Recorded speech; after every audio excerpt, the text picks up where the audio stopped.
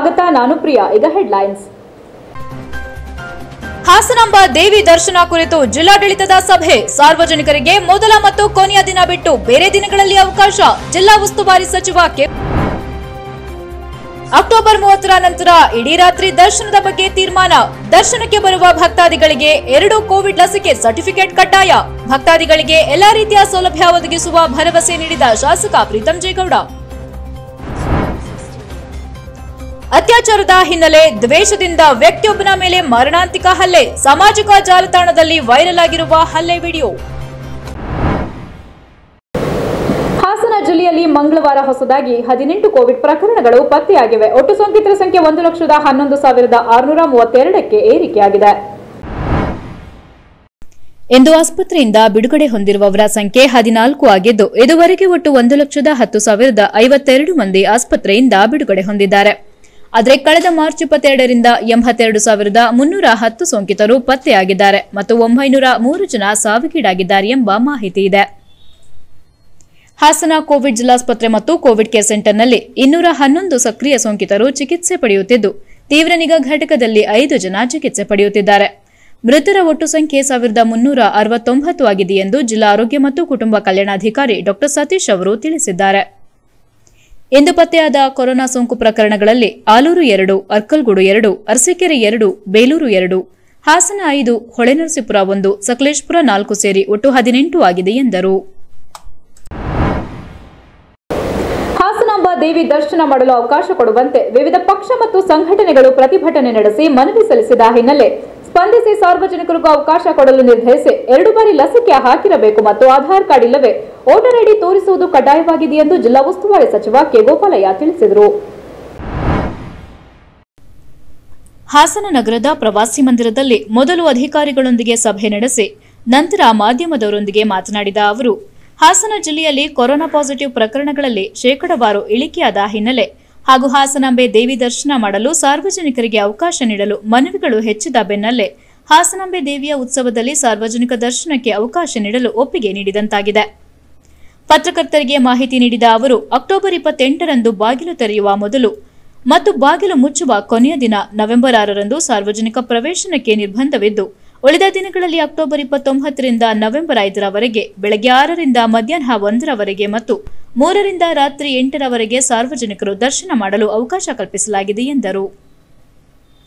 ದರ್ಶನಕ್ಕೆ ಬರುವ ಪ್ರತಿಯೊಬ್ಬ ಸಾರ್ವಜನಿಕರು ಎರಡು ಬಾರಿ ಲಸಿಕೆ ಹಾಕಿಸಿರುವ ಸರ್ಟಿಫಿಕೇಟ್ ಜೆರಾಕ್ಸ್ ಮತ್ತು ಆಧಾರ್ ಕಾರ್ಡ್ ಅಥವಾ ಚುನಾವಣಾ ಗುರುತಿನ ಚೀಟಿ ತರುವುದು ಕಡ್ಡಾಯವಾಗಿದೆ ಈ ವೇಳೆ ದೇವಾಲಯದಲ್ಲೇ ಪ್ರತ್ಯೇಕ ಬೂತ್ ಮಾಡಿ ಪ್ರತಿಯೊಬ್ಬರನ್ನ ಪರಿಶೀಲನೆ ಮಾಡಲಾಗುವುದು ವ್ಯಾಕ್ಸಿನ್ ಪಡೆಯದೇ ಬರುವ ಭಕ್ತರಿಗೆ ಪ್ರವೇಶ ನಿರಾಕರಿಸಲಾಗುವುದೆಂದು ಸೂಚನೆ ನೀಡಿದರು ದೇವಾಲಯಕ್ಕೆ ಭಕ್ತರಿಗೆ ಯಾವುದೇ ತೊಂದರೆಯಾಗದಂತೆ ಮೂಲಭೂತ ಸೌಕರ್ಯ ಕಲ್ಪಿಸಲು ಸಹ ಕ್ರಮ ಕೈಗೊಳ್ಳಲಾಗಿದೆ ಹಾಸನಾಂಬ ಉತ್ಸವಕ್ಕೆ ಮುಖ್ಯಮಂತ್ರಿಗಳನ್ನು ಆಹ್ವಾನಿಸಿದ್ದು ಚುನಾವಣೆ ಹಿನ್ನೆಲೆ ಅವರ ಭೇಟಿ ಅಸಾಧ್ಯವಾಗಿದೆ ಎಂದ ಅವರು ಮತ್ತೊಮ್ಮೆ ಸಿಎಂ ಅವರನ್ನ ಭೇಟಿ ಮಾಡಿ ದೇವಸ್ಥಾನಕ್ಕೆ ಆಹ್ವಾನ ನೀಡಿ ನವೆಂಬರ್ ಆರರಂದು ಬರಲು ಹೇಳುವುದಾಗಿ ತಿಳಿಸಿದರು ಇತ್ತೀಚೆಗೆ ದಸರಾ ಮತ್ತು ನಿನ್ನೆಯಿಂದ ಎಲ್ಲ ಶಾಲಾ ಕಾಲೇಜುಗಳು ಸಂಪೂರ್ಣವಾಗಿ ಪ್ರಾರಂಭ ಆಗಿರೋದ್ರಿಂದ ಆಸಂಬ ಆಸನಾಂಬೆಯ ದರ್ಶನಕ್ಕೆ ಮೊದಲನೇ ದಿನ ಮತ್ತು ಕೊನೆಯ ದಿನ ಇಪ್ಪತ್ತೆಂಟನೇ ತಾರೀಕು ಮತ್ತು ಆರನೇ ತಾರೀಕು ಬಿಟ್ಟು ಉಳಿದಂತೆ ಸಾರ್ವಜನಿಕರನ್ನು ಬೆಳಗ್ಗೆ ಆರು ಗಂಟೆಯಿಂದ ಮಧ್ಯಾಹ್ನ ಒಂದು ಗಂಟೆವರೆಗೂ ತಿರ್ಗಾ ಮೂರು ಗಂಟೆಯಿಂದ ರಾತ್ರಿ ಎಂಟು ಗಂಟೆವರೆಗೂ ಬಿಡ್ತಕ್ಕಂಥದ್ದಕ್ಕೆ ಇವತ್ತು ನಾವು ನಮ್ಮ ಸ್ಥಳೀಯ ಶಾಸಕರಾದ ಪ್ರೀತಮ್ ಗೌಡರು ಮತ್ತು ಎಲ್ಲ ಶಾಸಕರಿಗೂ ಇವತ್ತು ಸಭೆಗೆ ಕರೆದಿದ್ದೆ ಕೆಲವರು ಅವರ ಕಾರ್ಯದ ಒತ್ತಡದಿಂದ ಬಂದಿಲ್ಲ ಬಂದಿಲ್ಲ ಮತ್ತು ನಮ್ಮ ಜಿಲ್ಲಾಡಳಿತ ಇವತ್ತು ತೀರ್ಮಾನವನ್ನು ತಾಂಡಿ ಸಾರ್ವಜನಿಕವಾಗಿ ಹಾಸನ ಜಿಲ್ಲೆ ಇರ್ಬೋದು ರಾಜ್ಯದಿಂದ ಬರ್ತಂತ ಬರ್ತಕ್ಕಂಥ ಭಕ್ತಾದಿಗಳಿಗೆ ಅವಕಾಶವನ್ನು ಮಾಡಿಕೊಡ್ಬೇಕು ಅಂತಕ್ಕಂಥ ಒಂದು ತೀರ್ಮಾನವನ್ನು ತಗೊಂಡಿದ್ದೇವೆ ಕಳೆದ ಎರಡು ತಿಂಗಳಿಂದ ನಮಗೆ ವ್ಯಾಕ್ಸಿನೇಷನ್ ಎರಡೆರಡುವರೆ ತಿಂಗಳಿಂದ ನಮಗೇನು ವ್ಯಾಕ್ಸಿನೇಷನ್ ಸಮಸ್ಯೆನೇ ಇಲ್ಲ ಇಡೀ ರಾಜ್ಯದಲ್ಲಿ ಮತ್ತು ದೇಶದಲ್ಲೂ ವ್ಯಾಕ್ಸಿನೇಷನ್ ಸಮಸ್ಯೆ ಇಲ್ಲ ಇದನ್ನು ಇನ್ನು ಸುಮಾರು ಒಂದು ಮುಕ್ಕಾಲ ಒಂದೂವರೆ ಲಕ್ಷ ಒಂದು ಮುಕ್ಕಾಲು ಲಕ್ಷ ವ್ಯಾಕ್ಸಿನೇಷನ್ ಇಲ್ಲಿ ಹಾಸನ ಜಿಲ್ಲೆಯಲ್ಲಿ ಇದೆ ಬಂದಿರತಕ್ಕಂಥದ್ದು ಇದೆ ಇದನ್ನು ಸ್ಟಾಕ್ ಇದೆ ಅದರಿಂದ ನಾನು ಎಲ್ಲರಲ್ಲೂ ವಿನಂತಿ ಮಾಡ್ಕೊಳ್ತಕ್ಕಂಥದ್ದು ಈ ಕರೋನಾ ಕಡಿಮೆ ಆಗಿದೆ ನಾವು ಯಾಕೆ ತಾಂಬೇಕು ಅಂತಕ್ಕಂಥ ಮನೋವೃತ್ತಿಯನ್ನು ಬಿಟ್ಟು ದಯವಿಟ್ಟು ವ್ಯಾಕ್ಸಿನೇಷನ್ನ ಕಡ್ಡಾಯವಾಗಿ ತೊಗೊಬೇಕು ಅಂತಕ್ಕಂಥದ್ದನ್ನ ಒಂದನೇ ತಾಂಡಿರೋರು ಎರಡನೇ ತಾಂಬೇಕು ತಗೊಂಡ ಯಾರು ತೊಗೊಂಡಿಲ್ಲ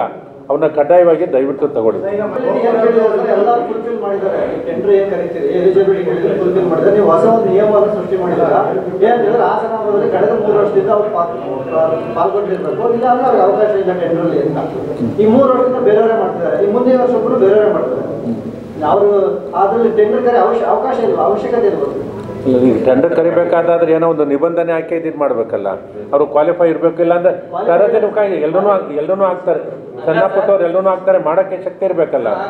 ಕೆಲವೊಂದು ಕೆಲವೊಂದು ಕಾರ್ಯಕ್ರಮಗಳಲ್ಲಿ ಈ ರೀತಿಯ ಇದು ಮಾಡಿದ್ವಿ ಇದು ದೇವಸ್ಥಾನ ಕಾರ್ಯಕ್ರಮ ಆಗಿರೋದ್ರಿಂದ ಇದರಲ್ಲಿ ಯಾವುದೇ ರೀತಿ ಅವ್ಯವಹಾರ ನಡೆಯೋದಕ್ಕೆ ಸಾಧ್ಯ ಇಲ್ಲ ಹಾಸನಂಬ ದರ್ಶನಕ್ಕೆ ಸಾರ್ವಜನಿಕರಿಗೆ ಅವಕಾಶ ಕಲ್ಪಿಸಿದ್ದು ಅಕ್ಟೋಬರ್ ಮೂವತ್ತರ ನಂತರ ಭಕ್ತರ ಆಗಮನದ ಸಂಖ್ಯೆಗೆ ಅನುಗುಣವಾಗಿ ರಾತ್ರಿ ವೇಳೆಯಲ್ಲಿಯೂ ಹಾಸನಂಬ ದೇವಿ ದರ್ಶನ ಮಾಡಲು ಅವಕಾಶ ಕಲ್ಪಿಸಲು ತೀರ್ಮಾನ ಕೈಗೊಳ್ಳುವುದಾಗಿ ಶಾಸಕ ಪ್ರೀತಂಜೇಗೌಡ ತಿಳಿಸಿದ್ದಾರೆ ಹಾಸನ ನಗರದಲ್ಲಿ ಮಾಧ್ಯಮದವರೊಂದಿಗೆ ಮಾತನಾಡಿದ ಅವರು ಕೋವಿಡ್ ಹಿನ್ನೆಲೆಯಲ್ಲಿ ದಿನದ ಇಪ್ಪತ್ನಾಲ್ಕು ಗಂಟೆಗಳು ದರ್ಶನಕ್ಕೆ ಅವಕಾಶ ಕಲ್ಪಿಸಿಲ್ಲ ರಾಜ್ಯದಿಂದ ಲಕ್ಷಾಂತರ ಭಕ್ತರು ಆಗಮಿಸುವ ನಿರೀಕ್ಷೆ ಇದೆ ಅದಕ್ಕನುಗುಣವಾಗಿ ತೀರ್ಮಾನ ಕೈಗೊಳ್ಳಲಾಗುವುದು ಎಂದರು ಹಾಸನಾಂಬ ದೇಗುಲ ದರ್ಶನದ ಮೊದಲ ದಿನ ನಗರಸಭೆಯ ಎಲ್ಲ ಸದಸ್ಯರಿಗೆ ಹಾಗೂ ಸಿಬ್ಬಂದಿ ವರ್ಗದವರಿಗೆ ಅವಕಾಶ ನೀಡಲಾಗುವುದು ದರ್ಶನಕ್ಕೆ ಬರುವ ಭಕ್ತಾದಿಗಳು ಕಡ್ಡಾಯವಾಗಿ ವ್ಯಾಕ್ಸಿನ್ ಪಡೆದ ಪತ್ರ ತರಬೇಕು ಬರುವ ಭಕ್ತಾದಿಗಳಿಗೆ ಎಲ್ಲ ಮೂಲಭೂತ ಸೌಲಭ್ಯ ಸೇರಿದಂತೆ ಅಗತ್ಯ ಸೌಕರ್ಯ ಜಿಲ್ಲಾಡಳಿತದಿಂದ ಒದಗಿಸಲಾಗುವುದು ದೇಗುಲ ಅಭಿವೃದ್ಧಿ ಹಾಗೂ ಅರ್ಚಕರ ಬದಲಿ ಸಂಬಂಧ ನ್ಯಾಯಾಲಯದಲ್ಲಿ ಪ್ರಕರಣ ಇರುವುದರಿಂದ ಕಾರ್ಯಕ್ರಮಗಳು ವಿಳಂಬವಾಗಿವೆ ತೊಡಕುಗಳು ನಿವಾರಣೆ ನಂತರ ಅಭಿವೃದ್ಧಿ ಕಾರ್ಯಗಳು ನಡೆಯಲಿದೆ ಎಂದು ಶಾಸಕರು ತಿಳಿಸಿದ್ದಾರೆ ಮಾಡಬೇಕನ್ನೋದ್ರ ಬಗ್ಗೆ ಉಸ್ತುವಾರಿ ಸಚಿವರು ಮತ್ತು ಜಿಲ್ಲಾಧಿಕಾರಿಗಳೊಂದಿಗೆ ಚರ್ಚೆ ಮಾಡಿ ಪರಿಸ್ಥಿತಿಯನ್ನು ನೋಡಿ ಮೂವತ್ತನೇ ತಾರೀಕಿನ ನಂತರ ಮುಂದಿನ ಐದು ಆರು ದಿನಕ್ಕೆ ನಿರ್ಣಯವನ್ನು ಮಾಡುವಂಥ ಕೆಲಸವನ್ನು ನಗರಸಭಾ ಅಧ್ಯಕ್ಷರ ಮತ್ತು ನಾನು ಚರ್ಚೆ ಮಾಡಿ ಮಾಡುವಂಥ ಕೆಲಸವನ್ನು ಮಾಡ್ತೀವಿ ಜಿಲ್ಲೆಯ ಭಕ್ತಾದಿಗಳಿಗೆ ಮತ್ತು ರಾಜ್ಯದಿಂದ ಬರುವಂಥ ಎಲ್ಲ ಭಕ್ತಾದಿಗಳಲ್ಲಿ ಮನವಿ ದಯಮಾಡಿ ನೀವು ಕೋವಿಡ್ ಲಸಿಕೆಯನ್ನು ಹಾಕ್ಸ್ಕೊಂಡಿರೋಂಥ ಸರ್ಟಿಫಿಕೇಟ್ನ ಪ್ರಿಂಟೌಟು ಅಥವಾ ಮೊಬೈಲ್ ಆ್ಯಂಡ್ರಾಯ್ಡ್ ಮೊಬೈಲ್ ಇದ್ದರೆ ಅದರಲ್ಲಿ ಸರ್ಟಿಫಿಕೇಟ್ನ ಕಾಪಿ ಇಟ್ಕೊಂಡು ನಿಮ್ಮ ಗುರುತಿನ ಚೀಟಿಯನ್ನು ಇಟ್ಕೊಂಡು ಬಂದರೆ ಮುಕ್ತವಾದಂಥ ಅವಕಾಶ ಸಿಗುತ್ತೆ ಯಾವುದೇ ಗೊಂದಲಗಳಿಗೆ ಅವಕಾಶವನ್ನು ಕೊಡದೇ ರೀತಿಯಲ್ಲಿ ಎಲ್ಲರೂ ಕೂಡ ಸಹಕರಿಸಬೇಕು ಅಂತ ಮಾಧ್ಯಮ ಮಿತ್ರರ ಮೂಲಕ ಭಕ್ತಾದಿಗಳಲ್ಲಿ ಮನವಿಯನ್ನು ಮಾಡ್ಕೊಳ್ತೀನಿ ಕಳೆದ ಹತ್ತು ವರ್ಷಗಳು ಹಲವಾರು ವರ್ಷಗಳಿಂದ ಯಾವ ರೀತಿ ನಡ್ಕೊಂಡು ಬಂದಿದೆ ಆ ರೀತಿಯಾಗಿ ಅಚ್ಚುಕಟ್ಟಾಗಿ ಸಾರ್ವಜನಿಕರಿಗೆ ದರ್ಶನವನ್ನು ಕೊಡೋ ನಿಟ್ಟಿನಲ್ಲಿ ನಗರಸಭೆ ಮತ್ತು ಜಿಲ್ಲಾಡಳಿತ ಎರಡರ ಸಹಕಾರದೊಂದಿಗೆ ಜಿಲ್ಲಾಧಿಕಾರಿ ಆರ್ ಗಿರೀಶ್ ಮಾತನಾಡಿ ಹಾಸನಂಬ ಉತ್ಸವದಲ್ಲಿ ವಿವಿಧ ಕೆಲಸಗಳಲ್ಲಿ ಟೆಂಡರ್ ಗೋಲ್ಮಾಲ್ ಮಾಡಲಾಗಿದೆ ಎಂಬ ಆರೋಪಕ್ಕೆ ಉತ್ತರಿಸಿ ಟೆಂಡರ್ನಲ್ಲಿ ಯಾವುದೇ ಗೋಲ್ಮಾಲ್ ನಡೆದಿಲ್ಲ ಪಾರದರ್ಶಕವಾಗಿ ಟೆಂಡರ್ ಗುತ್ತಿಗೆ ನೀಡಲಾಗಿದೆ ಭಕ್ತರಿಗೆ ಈ ಹಿಂದಿನ ರೀತಿಯಲ್ಲಿಯೇ ಪ್ರಸಾದದ ವ್ಯವಸ್ಥೆ ಮಾಡಲಾಗಿದ್ದು ಹಾಸನಾಂಬ ನೇರ ದರ್ಶನಕ್ಕಾಗಿ ಈ ಹಿಂದಿನ ಪದ್ಧತಿಯಂತೆ ಒಂದು ಸಾವಿರ ರು ಹಾಗೂ ಮುನ್ನೂರು ರುಗಳ ದರ್ಶನದ ಟಿಕೆಟ್ ವ್ಯವಸ್ಥೆ ಮಾಡಲಾಗಿದ್ದು ಒಬ್ಬರಿಗೆ ಒಂದು ಟಿಕೆಟ್ ಎಂದು ನಿಗದಿಗೊಳಿಸಲಾಗಿದೆ ಕೊರೋನಾ ಹಿನ್ನೆಲೆಯಲ್ಲಿ ವೃದ್ಧರು ಮತ್ತು ಮಕ್ಕಳು ದೇವಸ್ಥಾನಕ್ಕೆ ಕರೆತರದಂತೆ ಕೋರಿದ್ರು ಇನ್ನು ಆರೋಗ್ಯ ಇಲಾಖೆ ಅಧಿಕಾರಿಗಳು ಸಿಬ್ಬಂದಿಗಳು ದೇವಾಲಯದಲ್ಲಿರುತ್ತಾರೆ ಎಂದು ಹೇಳಿದರು ಯಾವ ರಿಜಿಸ್ಟರ್ಡ್ ಅಲ್ಲಿ ಅವರು ಕೋವಿನ್ ಪೋರ್ಟಲಲ್ಲಿ ಲಸಿಕೆ ತೊಗೊಂಡಿರ್ತಾರೋ ಆ ನಂಬರ್ ಮುಖಾಂತರ ಯಾರು ಬೇಕಾದರೂ ಅವ್ರ ಮೊಬೈಲ್ನಲ್ಲಿ ನೇರವಾಗಿ ಪಡ್ಕೊಳೋಕ್ಕೆ ಅವಕಾಶ ಇದೆ ಆ ಒಂದು ಸರ್ಟಿಫಿಕೇಟ್ ಪಡೆದು ಪಡೆದು ಒಂದು ಪ್ರಿಂಟೆಡ್ ಕಾಪಿನ ತೆಗೆದುಕೊಂಡ್ರೆ ಅವರ ಪರಿಶೀಲನೆ ಬೇಗ ಆಗ್ತದೆ ಇಲ್ಲಾಂದರೆ ಸ್ಥಳದಲ್ಲೇ ನಾವು ಪರಿಶೀಲನೆ ಮಾಡೋದಕ್ಕೂ ಅವಕಾಶ ಕಲ್ಪಿಸಿದ್ವಿ ಸಾರ್ವಜನಿಕರು ಬರೋಕ್ಕಿಂತ ಮುಂಚೆ ವ್ಯಾಕ್ಸಿನೇಷನ್ ಪಡೆದಿರೋದನ್ನು ಖಾತ್ರಿಪಡಿಸ್ಕೊಂಡು ಅದರ ಪ್ರಮಾಣ ಪತ್ರವನ್ನು ಪ್ರತಿಯೊಂದು ಪ್ಲಸ್ ಒಂದು ಐ ಡಿ ಕಾರ್ಡನ್ನು ತರಬೇಕು ಅಂತ ಈ ಮೂಲಕ ಕೋರಿದ್ದೀವಿ ಈಗಾಗಲೇ ನಾವು ಎಸ್ ಪಿ ಸ್ಥಳ ಭೇಟಿ ಮಾಡಿ ಪರಿಶೀಲನೆ ಮಾಡಿ ವೆಯ್ಟಿಂಗ್ಗೆ ಒಂದು ಅವಕಾಶ ಕಲ್ಪಿಸಿದ್ವಿ ಅಂದರೆ ಮೂರು ವೆಯ್ಟಿಂಗ್ ರೂಮ್ಸ್ ಥರ ಮಾಡಿದ್ದೀವಿ ಸೊ ಸೊ ದಟ್ ಜನ ಅವರು ಕ್ಯೂ ಜಾಯ್ನ್ ಆದಾಗಿಂದ ಕೊನೆವರೆಗೂ ಕ್ಯೂನಲ್ಲಿ ನಿಂತ್ಕೊಂಡೇ ಇರಬೇಕಾಗಿರೋ ಸಂದರ್ಭ ಬೇಡ ಮೂರು ರೂಮ್ ಕೊಠಡಿ ಮಾಡಿದ್ವಿ ಕೊಠಡಿ ಇರೋರನ್ನ ಫಸ್ಟ್ ಮೊದಲು ಬಿಡ್ತೀವಿ ಅದಾದ ನಂತರ ಕೊಠಡಿ ಎರಡರವ್ರನ್ನ ಬಿಡ್ತೀವಿ ಅದಾದ ನಂತರ ಕೊಠಡಿ ಮೂರವ್ರನ್ನ ಬಿಡ್ತೀವಿ ನಂತರ ಮತ್ತೆ ಕೊಠಡಿ ಒನ್ ಅವ್ರನ್ನ ಸೊ ದಟ್ uh, ಜನರು ಭಾಳಷ್ಟು ಕ್ಯೂನಲ್ಲಿ ನಿಲ್ಲೋದು ಕಡಿಮೆ ಆಗಲಿ ಆಮೇಲೆ ಟು ಸಮ್ ಎಕ್ಸ್ಟೆಂಟ್ ಸೋಷಿಯಲ್ ಡಿಸ್ಟೆನ್ಸ್ನ ಎನ್ಫೋರ್ಸ್ ಮಾಡೋಕ್ಕೆ ಸಾಧ್ಯ ಆಗುತ್ತೆ ಅನ್ನೋ ದೃಷ್ಟಿಯಿಂದ ಮಾಡಿದ್ವಿ ಎಲ್ಲ ತಯಾರಿಗಳು ನಡೀತಾ ಇದೆ ಮಧ್ಯಾಹ್ನ ಮತ್ತೆ ನಾನು ಎಸ್ ಪಿ ಅವರು ಇನ್ನೊಂದ್ಸತಿ ಭೇಟಿ ನೀಡಿ ಪೂರ್ಣವಾಗಿ ಪರಿಶೀಲನೆ ಮಾಡ್ತೀನಿ ಬಿಲೋ ಏಯ್ಟೀನ್ ಇಯರ್ಸು ಮಾಡ್ಬೋದು ನನ್ನ ಮನವಿ ಏನು ಅಂತಂದರೆ ಸ ಮಕ್ಕಳ ಆರೋಗ್ಯದ ದೃಷ್ಟಿಯಿಂದ ಅವರನ್ನು ಕರೆತರದೇ ಇರೋದು ಒಳ್ಳೆಯದು ಅದರ್ವೈಸ್ ಈಗ ಹದಿನೆಂಟು ವರ್ಷದ ಒಳವರೆಗೆ ಲಸಿಕೆ ಏನು ಬಂದಿಲ್ಲ ಹಾಗಾಗಿ ಪ್ರವೇಶವನ್ನು ನಾವು ನಿಷೇಧ ಮಾಡಿಲ್ಲ ಸಾರ್ವಜನಿಕರಲ್ಲಿ ವಿನಂತಿ ಏನಂದರೆ ಅವರು ಹದಿನೆಂಟು ವರ್ಷಕ್ಕಿಂತ ಕಡಿಮೆ ಇರೋರು ಮತ್ತು ತೀರಾ ವಯಸ್ಸಾಗಿರೋರು ಅವರ ವೈಯಕ್ತಿಕ ಆರೋಗ್ಯದ ಕಾಳಜಿ ದೃಷ್ಟಿಯಿಂದ ದೇವಿಯ ದರ್ಶನವನ್ನು ಆನ್ಲೈನ್ ಮುಖಾಂತರ ಪಡೆಯೋದು ಒಳ್ಳೆಯದು ಅಂತ ಸರಿ ನಮ್ಮದು ಮತ್ತು ಆರೋಗ್ಯ ಇಲಾಖೆದು ಜಂಟಿಯಾಗಿ ಚೆಕ್ ಮಾಡಿ ನಾವು ಬಿಡ್ತಿರ್ತೀವಿ ಮನವಿ ಮನವಿ ಏನಂದರೆ ದಯವಿಟ್ಟು ಚಿಕ್ಕ ಮಕ್ಕಳನ್ನ ಲಾಸ್ಟ್ ಟೈಮೆಲ್ಲ ಕರ್ಕೊಂಬಂದಿರೋದು ನೋಡಿದ್ವಿ ಅಂಥವನ್ನೆಲ್ಲ ಅವಾಯ್ಡ್ ಮಾಡಿ ಜಾಸ್ತಿ ರಶ್ ಇರೋದ್ರಿಂದ ಹಾಗೂ ಅವ್ರಿಗೆಲ್ಲ ಲಸಿಕೆ ಇಲ್ಲದೆ ಇರೋದ್ರಿಂದ ಅವರ ಆರೋಗ್ಯ ದೃಷ್ಟಿಯಿಂದ ಅದನ್ನು ಕರ್ಕೊಂಬರದಲ್ಲೇ ಇರೋದು ಒಳ್ಳೆಯದು ಮತ್ತು ಸೀನಿಯರ್ ಸಿಟಿಸನ್ಸ್ಗಳು ಅಷ್ಟೇ ಅವ್ರಿಗೂ ನಾವು ರಿಕ್ವೆಸ್ಟ್ ಮಾಡ್ತೀವಿ ಆನ್ಲೈನ್ ದರ್ಶನ ಇದೆ ಅದನ್ನು ಪಡೆಯೋದು ಪಡೆದುಕೊಳ್ಳಿ ಅಲ್ಲೇ ದರ್ಶನ ಪಡೆದುಕೊಳ್ಳಿ ಅಂತ ನಾವು ಕೇಳ್ಕೊತೀವಿ ಇನ್ನೇನು ಮುನ್ನೂರು ರೂಪಾಯಿ ಸಾವಿರ ರೂಪಾಯಿ ಮತ್ತು ಜನರಲ್ ಕ್ಯೂ ಇದೆ ಅದಕ್ಕೆಲ್ಲ ಸಪ್ರೇಟಾಗಿ ಬ್ಯಾರಿಕೇಡಿಂಗ್ ವ್ಯವಸ್ಥೆ ಹಾಗೂ ಸಪ್ರೇಟ್ ಸೀಟಿಂಗ್ ವೆಯ್ಟಿಂಗ್ ರೂಮ್ ವ್ಯವಸ್ಥೆ ಎಲ್ಲನೂ ಮಾಡಲಾಗಿದೆ ವಿತಿನ್ ಟೆಂಪಲ್ ಆಲ್ಸೋ ಪ್ರಿಮಿಸಸ್ಸು ಸಾಕಷ್ಟು ಬ್ಯಾರಿಕೇಡಿಂಗು ಹೊಸ ಬ್ಯಾರಿಕೇಡ್ಸ್ಗಳು ಮತ್ತು ಹೊಸ ಚೈನ್ ಸಿಸ್ಟಮ್ಗಳನ್ನೆಲ್ಲ ನಾವು ಮೊನ್ನೆ ಎಲ್ಲ ಹೋಗಿ ಡಿಸೈಡ್ ಮಾಡಿ ಮಾರ್ಕಿಂಗ್ ಮಾಡಿ ಬಂದಿದ್ದೀವಿ ತುಂಬ ವ್ಯವಸ್ಥಿತವಾಗಿ ಈ ಸತಿ ಯಾವುದೇ ರೀತಿಯಾದಂಥ ಅಡಚಣೆ ಇಲ್ಲದಲೆ ಜಾಸ್ತಿ ಹೊತ್ತು ಕಾಯ್ದಲ್ಲೇ ಇರೋಂಗೆ ನಾವು ಪ್ಲ್ಯಾನ್ ಮಾಡ್ಕೊಂಡಿದ್ದೀವಿ ಅದೇ ರೀತಿ ಮಾಡ್ತೀವಿ ಅತ್ಯಾಚಾರದ ಹಿನ್ನೆಲೆಯಲ್ಲಿ ಜೈಲಿಗೆ ಕಳುಹಿಸಿದ್ರು ಎನ್ನುವ ದ್ವೇಷದಲ್ಲಿ ವ್ಯಕ್ತಿಯೊಬ್ಬನ ಮೇಲೆ ಮಾರಣಾಂತಿಕ ಹಲ್ಲೆ ಮಾಡಿರುವ ಘಟನೆ ಆಲೂರು ತಾಲೂಕಿನ ಹುಣಸವಳ್ಳಿ ಬಾರಿ ಶಿಕಾರಿಪುರ ಗ್ರಾಮದಲ್ಲಿ ನಡೆದಿದೆ ಕಾಳ ಎನ್ನುವ ವ್ಯಕ್ತಿ ಹಲ್ಲೆಗೊಳಗಾಗಿದ್ದು ಸೋಮವಾರ ಸಂಜೆ ಕೆಲಸ ಮುಗಿಸಿ ಮನೆ ಹತ್ತಿರ ಹೋಗುತ್ತಿದ್ದ ಸಂದರ್ಭ ರತನ್ ಶಿವಾಜಿ ಸುರೇಶ್ ಶಂಕರ್ ಶೀಲಾ ಹಾಗೂ ನಂದಿತಾ ಎಂಬುವವರ ಗುಂಪು ಕಾಳ ಎಂಬುವನನ್ನ ರಸ್ತೆಯಲ್ಲಿ ಅಡ್ಡಗಟ್ಟಿ ಮಾರಣಾಂತಿಕ ಹಲ್ಲೆ ನಡೆಸಿದ್ದು ಕಾಳದಾರಿ ಮಧ್ಯದಲ್ಲಿ ಪ್ರಜ್ಞಾಹೀನಾಗಿ ಬಿದ್ದಿದ್ದು ಹುಣಸಬಳ್ಳಿ ಗ್ರಾಮಸ್ಥರು ಆಲೂರು ಪಟ್ಟಣದ ಸರ್ಕಾರಿ ಆಸ್ಪತ್ರೆಗೆ ತಂದು ದಾಖಲಿಸಿದ್ದಾರೆ ಹಲ್ಲೆ ಮಾಡಿರುವ ದೃಶ್ಯ ಸಾಮಾಜಿಕ ಜಾಲತಾಣದಲ್ಲಿ ಹರಿದಾಡುತ್ತಿದ್ದು ಜನಸಾಮಾನ್ಯರನ್ನ ಬೆಚ್ಚಿ ಬೀಳಿಸಿದೆ ಆರು ತಿಂಗಳ ಹಿಂದೆ ರತನ್ ಎನ್ನುವ ಯುವಕ ಹಲ್ಲೆಗೊಳಗಾದ ಕಾಳನ ಅಣ್ಣನ ಮಗನ ಮಗಳ ಮೇಲೆ ಅತ್ಯಾಚಾರಕ್ಕೆ ಯತ್ನಿಸಿದ್ದನು ಈ ಬಗ್ಗೆ ಆಲೂರು ಪೊಲೀಸ್ ಠಾಣೆಗೆ ದೂರು ನೀಡಿದ್ರ ಹಿನ್ನೆಲೆ ರತನನ್ನ ಪೊಲೀಸರು ಪ್ರಕರಣ ದಾಖಲಿಸಿ ಜೈಲಿಗೆ ಕಳುಹಿಸಿದರು ತಿಂಗಳ ಹಿಂದೆಯಷ್ಟೇ ಜೈಲಿನಿಂದ ಜಾಮೀನಿನ ಮೇಲೆ ಹೊರಗೆ ಬಂದು ರಾಜ ಸಂಧಾನಕ್ಕೆ ಬೇರೆಯವರಿಂದ ಒತ್ತಡ ತಂದಿದ್ದ ಆದರೆ ಕಾಳನ ಕುಟುಂಬಸ್ಥರು ರಾಜಿಗೆ ಒಪ್ಪಿರಲಿಲ್ಲ ಇದೇ ದ್ವೇಷ ಬೆಳೆಸಿದ ರತನ್ ಉಡುಪಿ ಹಾಗೂ ಚಿಕ್ಕಮಗಳೂರಿನಿಂದ ಜನರನ್ನ ಕರೆಸಿ ಹಲ್ಲೆ ಮಾಡಿಸಿದ್ದಾನೆ ಎಂದು ಕುಟುಂಬಸ್ಥರು ಆರೋಪಿಸಿದ್ದು ಹಲ್ಲೆಕೋರರಿಗೆ ಶಿಕ್ಷೆ ಆಗಬೇಕೆಂದು ಒತ್ತಾಯಿಸಿದರು ಆಮೇಲೆ ಅವರು ಶಂಕರ ಶಿವಾಜಿ ಅವರೆಲ್ಲ ಎಲ್ಲ ಬಂದು ಹಳೆ ಉದ್ದೇಶಕ್ಕಾಗಿ ನಮಗೆಲ್ಲ ಬಂದು ಹೊಡೆದು ಕಂಪ್ಲೇಂಟ್ ಕೊಟ್ಟಿದ್ದು ನಾವು ನಮ್ಮ ತಮ್ಮನ ಮಗಳಿಗೆ ರೇಪ್ ಮಾಡಿದ ರೇಪ್ ಮಾಡಕ್ ಬಂದಿದ್ದ ಯಾರು ಬಂದಿದ್ದರು ಹೌದು ರತನ್ ಅಂತ ರತನ್ ರತನ್ ಅದು ಒಂದ್ಸಲ ರಾಜಿ ಮಾಡಿ ಅಂತ ನಮಗೆಲ್ಲ ಎಲ್ಲ ಬೆದರಿಕೆ ಹಾಕಿದ್ರು ಆದರೆ ನಾವು ಕೇಳಿಲ್ಲ ನಾವು ಆಮೇಲೆ ಮಂಗಳೂರು ಹೋದಾಗಲೂ ಗಲಾಟೆ ಮಾಡಿದರು ಅಲ್ಲೂ ಹೊಡೆದಾಟ ಎಲ್ಲ ಮಾಡಿದ್ರು ಅಲ್ಲೂ ಕಂಪ್ಲೇಂಟ್ ಕೊಟ್ಟಿದ್ದೀವಿ ಆಮೇಲೆ ಶಿಕ್ಷಕರು ನಿನ್ನ ಕೊಂದ್ಬಿಡ್ತೀನಿ ಸಾಯಿಸ್ಬಿಡ್ತೀನಿ ಕೇಸ್ ವಾಪಸ್ ತಗೊಳ್ಳಿ ಅಂತ ಶಿವಾಜಿ ಶಂಕರ್ ಅವರೆಲ್ಲ ಸೇರಿ ಸರ್ ನನ್ನೆಲ್ಲ ಹೊರಗಡೆ ಕರೆಸ್ಬಿಟ್ಟು ಮದುವೆಗೆ ಬಂದಿದ್ರು ಎಲ್ಲಿಂದ ಹೊರಗಡೆಯಿಂದ ಅಂದರೆ ಬಳ್ಳಾರಿಯಿಂದ ಮಂಗಳೂರಿಂದ ಬಂದೆಲ್ಲ ಸೇರಿ ಒಬ್ಬನ ನೋಡಿ ಎಲ್ಲೇ ಎಲ್ಲ ಹೇಳಿದ್ರು ಸೇರಿ ಎರಡನೇ ಬಂದು ಹೇಳಿದ್ದಕ್ಕೆ ಅದಕ್ಕೆ ಹೋಗಿ ನಾವು ಎಲ್ಲ ವಿಚಾರಿಸಿದ್ದೀಗ ಇಲ್ಲ ನಾವು ಬಂದೆಲ್ಲ ಹಂಗೆ ಹಿಂಗೆ ಅಂತ ಹೇಳ್ತವ್ರೆ ಆ ಹುಡುಗಿ ಕಣ್ಣು ಕೈ ಎತ್ತು ತೋರಿಸ್ತಾವಳೆ ಹಿಂಗೆ ಇವನೇ ಅಂತ ದಮರೆಗೆ ಬಂದಿದ್ದ ಇವನೇ ಹಂಗೆ ಹಂಗೆ ತೋರಿಸಿದಕ್ಕೆ ನಾವು ಎಲ್ಲ ಕಂಪ್ಲೇಂಟ್ ಎಲ್ಲ ಕೊಟ್ಟಿದ್ವಿ ಅವ್ನು ಜೈಲಿಗೆಲ್ಲ ಹೋಗಿ ಬಂದವನೆ ಒಂದುವರೆ ತಿಂಗಳು ಎರಡು ತಿಂಗಳು ಜೈಲಿಗೆ ಹೋಗಿ ಬಂದವನೆ ಜೈಲಿಗೆ ಹೋಗಿ ಬಂದಾಗ ಆಮೇಲೆ ಒಂದು ಸ್ವಲ್ಪ ದಿನ ಒಂದು ಒಂದು ಹದಿನೈದು ದಿವಸ ಆಗಿದ್ಮೇಲೆ ಅವ್ರು ಬಂದರು ಅವ್ರು ಬಂದ್ಬಿಟ್ಟು ನಮ್ಮ ರಾಜಿ ಆಗಿ ಹಂಗೆ ಅಂತ ಹೇಳಿದ್ರು ನಾವು ರಾಜಿ ಆಗಲ್ಲ ಕೇಸ್ ನಡೀಲಿ ಇನ್ನೊಂದು ಹೆಣ್ಮಕ್ಳ ಮೇಲೆ ಈ ದುರ್ಜನ ನಡಿಬಾರ್ದು ಅಂತ ನಾವು ಒಂದೇ ಒಂದು ಕಾರಣಕ್ಕೆ ನಾವು ಕೇಸ್ ವಾಪಸ್ ತೊಗೊಂಡಿಲ್ಲ ಅದು ನಡೀಲಿ ಕೇಸ್ ಆಗಲಿ ಆಗಿ ಆಗೇ ಆಗಲಿ ಅಂತ ನಾವು ಮಾಡಿದ್ದಕ್ಕೆ ಅವ್ರು ಅವ್ರು ಏನಂದ್ರು ನಮಗೆ ನಿಮ್ಗೆ ಒಂದು ಗತಿ ಕಾಣಿಸ್ತೀವಿ ನೋಡೋಣ ರಾಜಿ ಮಾಡ್ಕೊಳ್ಳೋದಿಲ್ಲ ಇದ್ರೆ ಹಾಂ ರಾಜಿ ಮಾಡ್ಕೊಂಡಿಲ್ಲ ಅಂದರೆ ನಾನು ನಿಮ್ಗೆ ಗೊತ್ತು ಗತಿ ಕಾಣಿಸ್ತೀವಿ ನಿಮ್ಗೆ ಹೆಂಗೆ ಸಾಯಿಸ್ಬೇಕು ಹಂಗೆ ಸಾಯಿಸ್ತೀವಿ ಹಂಗೆ ಅಂತ ಹೇಳಿದರು ಈ ಬಗ್ಗೆ ಆಲೂರು ಪೊಲೀಸ್ ಅಧಿಕಾರಿಗಳು ಸ್ಥಳಕ್ಕೆ ಭೇಟಿ ನೀಡಿ ಪ್ರಕರಣ ದಾಖಲಿಸಿಕೊಂಡಿದ್ದು ತನಿಖೆ ಮುಂದುವರೆಸಿದ್ದಾರೆ ಯಾವ ರಾಜಕೀಯ ಪಕ್ಷವಾಗಿರಲಿ ಎಚ್ಚರಿಕೆಯಿಂದ ಮಾತನಾಡಬೇಕು ಜಮೀರ್ ಅಹಮದ್ ಅವರು ಪದ ಬಳಕೆ ಮಾಡಿರುವುದು ಸರಿಯಲ್ಲ ಇದನ್ನು ಖಂಡಿಸುವುದಾಗಿ ಜಿಲ್ಲಾ ಉಸ್ತುವಾರಿ ಸಚಿವ ಕೆ ಗೋಪಾಲಯ್ಯ ತಿಳಿಸಿದರು ಹಾಸನ ನಗರದ ಪ್ರವಾಸಿ ಮಂದಿರದಲ್ಲಿ ಮಾಧ್ಯಮದೊಂದಿಗೆ ಮಾತನಾಡಿ ಜಮೀರ್ ಅಹಮದ್ ಅವರು ಇತರೆ ಪಕ್ಷದ ವಿರುದ್ಧ ಅವಹೇಳನಕಾರಿಯಾಗಿ ಹೇಳಿಕೆಗಳನ್ನು ನೀಡಿದ್ದು ಸರಿಯಲ್ಲ ಈ ವಿಚಾರದಲ್ಲಿ ನಾನು ಜಮೀರ್ ಅವರ ಪದ ಬಳಕೆಯನ್ನ ಖಂಡಿಸುತ್ತೇನೆ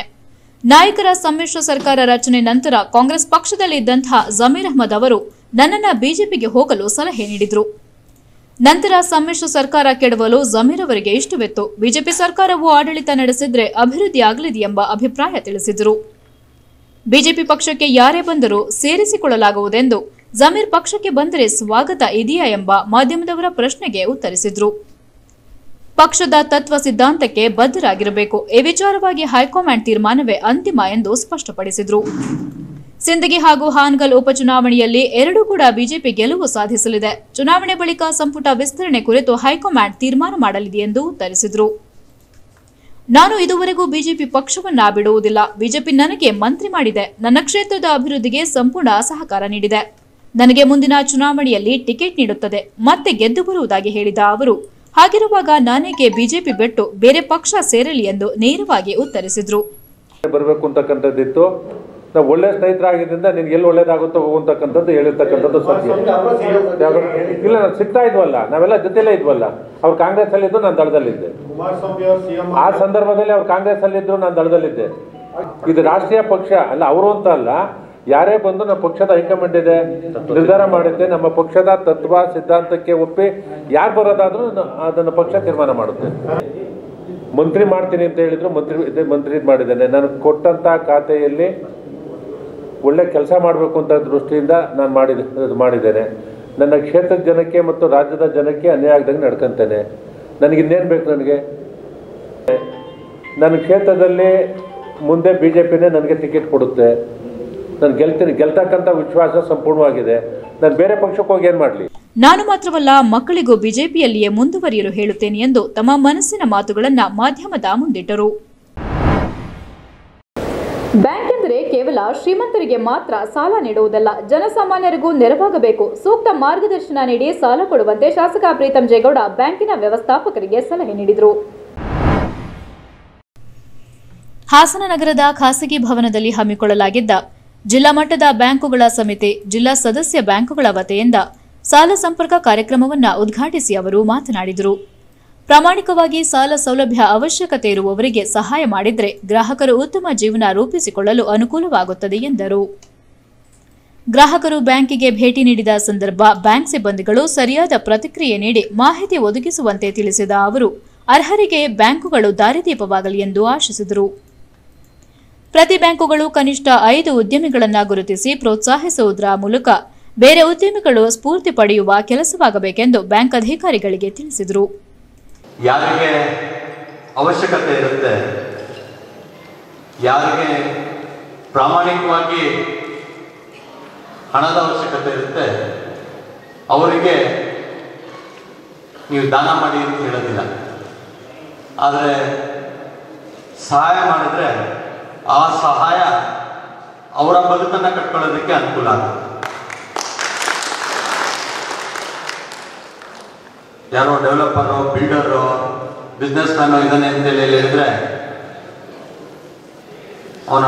ಬ್ಯಾಂಕ್ ಒಳಗೆ ಬಂದ ತಕ್ಷಣ ಚೇರ್ ಹಾಕ್ಸ್ತೀವಿ ನೀವು ಹೇಳಕ್ಕೂ ಮುಂಚೆನೆ ನಿಮ್ಮ ಸಿಬ್ಬಂದಿಯವರು ಕಾಫಿ ಟೀ ಬಂದು ಕೊಡ್ತಾರೆ ಅಂದ್ರೆ ಸಂಬಂಧ ಇರುತ್ತೆ ಅದರ ರೈತನು ಪ್ರಥಮ ಬಾರಿಗೆ ಬ್ಯಾಂಕಿಗೆ ಬಂದಂತವನಿಗೆ ಎಲ್ಲೋ ಕೂರ್ಬೇಕು ಅನ್ನೋದೇ ಗೊತ್ತಿರಲ್ಲ ಅಂದ್ರೆ ಯಾರು ಮಾತಾಡ್ಸ್ಬೇಕು ಅನ್ನೋದೇ ಗೊತ್ತಿರೋದಿಲ್ಲ ಅಂತ ಸಂದರ್ಭಗಳು ನಮ್ಮ ಮುಂದೆ ಇದೆ ಶಾಸಕರು ಕಾರ್ಯಕ್ರಮಕ್ಕೆ ಕರೆದಿ ನಮಗೆ ಬೈಸಿ ಬೈತಾ ಇದಾರಲ್ಲಪ್ಪ ಅಂತ ಯಾರು ಅನ್ಕೋಬೇಡಿ ಸಾರ್ವಜನಿಕ ವಲಯದಲ್ಲಿ ಗ್ರಾಹಕರುಗಳಿಗೆ ಯಾವ ರೀತಿಯಾದಂತ ಘಟನೆಗಳು ಅಥವಾ ಅವರ ಎಕ್ಸ್ಪೀರಿಯನ್ಸ್ ಅನ್ನ ನಾನು ನಿಮ್ಮ ಮುಂದೆ ಹೇಳಿ ಆ ಮೂಲಕ ಸುಧಾರಣೆಗಳನ್ನ ತರುವ ನಿಟ್ಟಿನಲ್ಲಿ ನಾವೆಲ್ಲರೂ ಒಟ್ಟಾಗಿ ಒಂದು ತಂಡವಾಗಿ ಕೆಲಸ ಮಾಡೋಣ ಅನ್ನೋ ಸದುದ್ದೇಶದಿಂದ ಇಲ್ಲಿ ವಿಚಾರವನ್ನ ಉಲ್ಲೇಖ ಮಾಡ್ತಾ ಇದ್ದೇವೆ ಈಗ ಸಾಲ ಸಂಪರ್ಕ ಕಾರ್ಯಕ್ರಮ ಅಂತ ಹೇಳಿದ್ರೆ ಸರ್ಕಾರದ ಒಂದು ಸದುದ್ದೇಶ ಇದೆ ಏನು ಸಮಾಜದ ಕಟ್ಟಕಡೆಯ ಪ್ರಜೆಯು ಕೂಡ ಸರ್ಕಾರದ ಅಥವಾ ಬ್ಯಾಂಕ್ನ ಸೌಲಭ್ಯ ಜಿಲ್ಲಾಧಿಕಾರಿ ಆರ್ ಗಿರೀಶ್ ಮಾತನಾಡಿ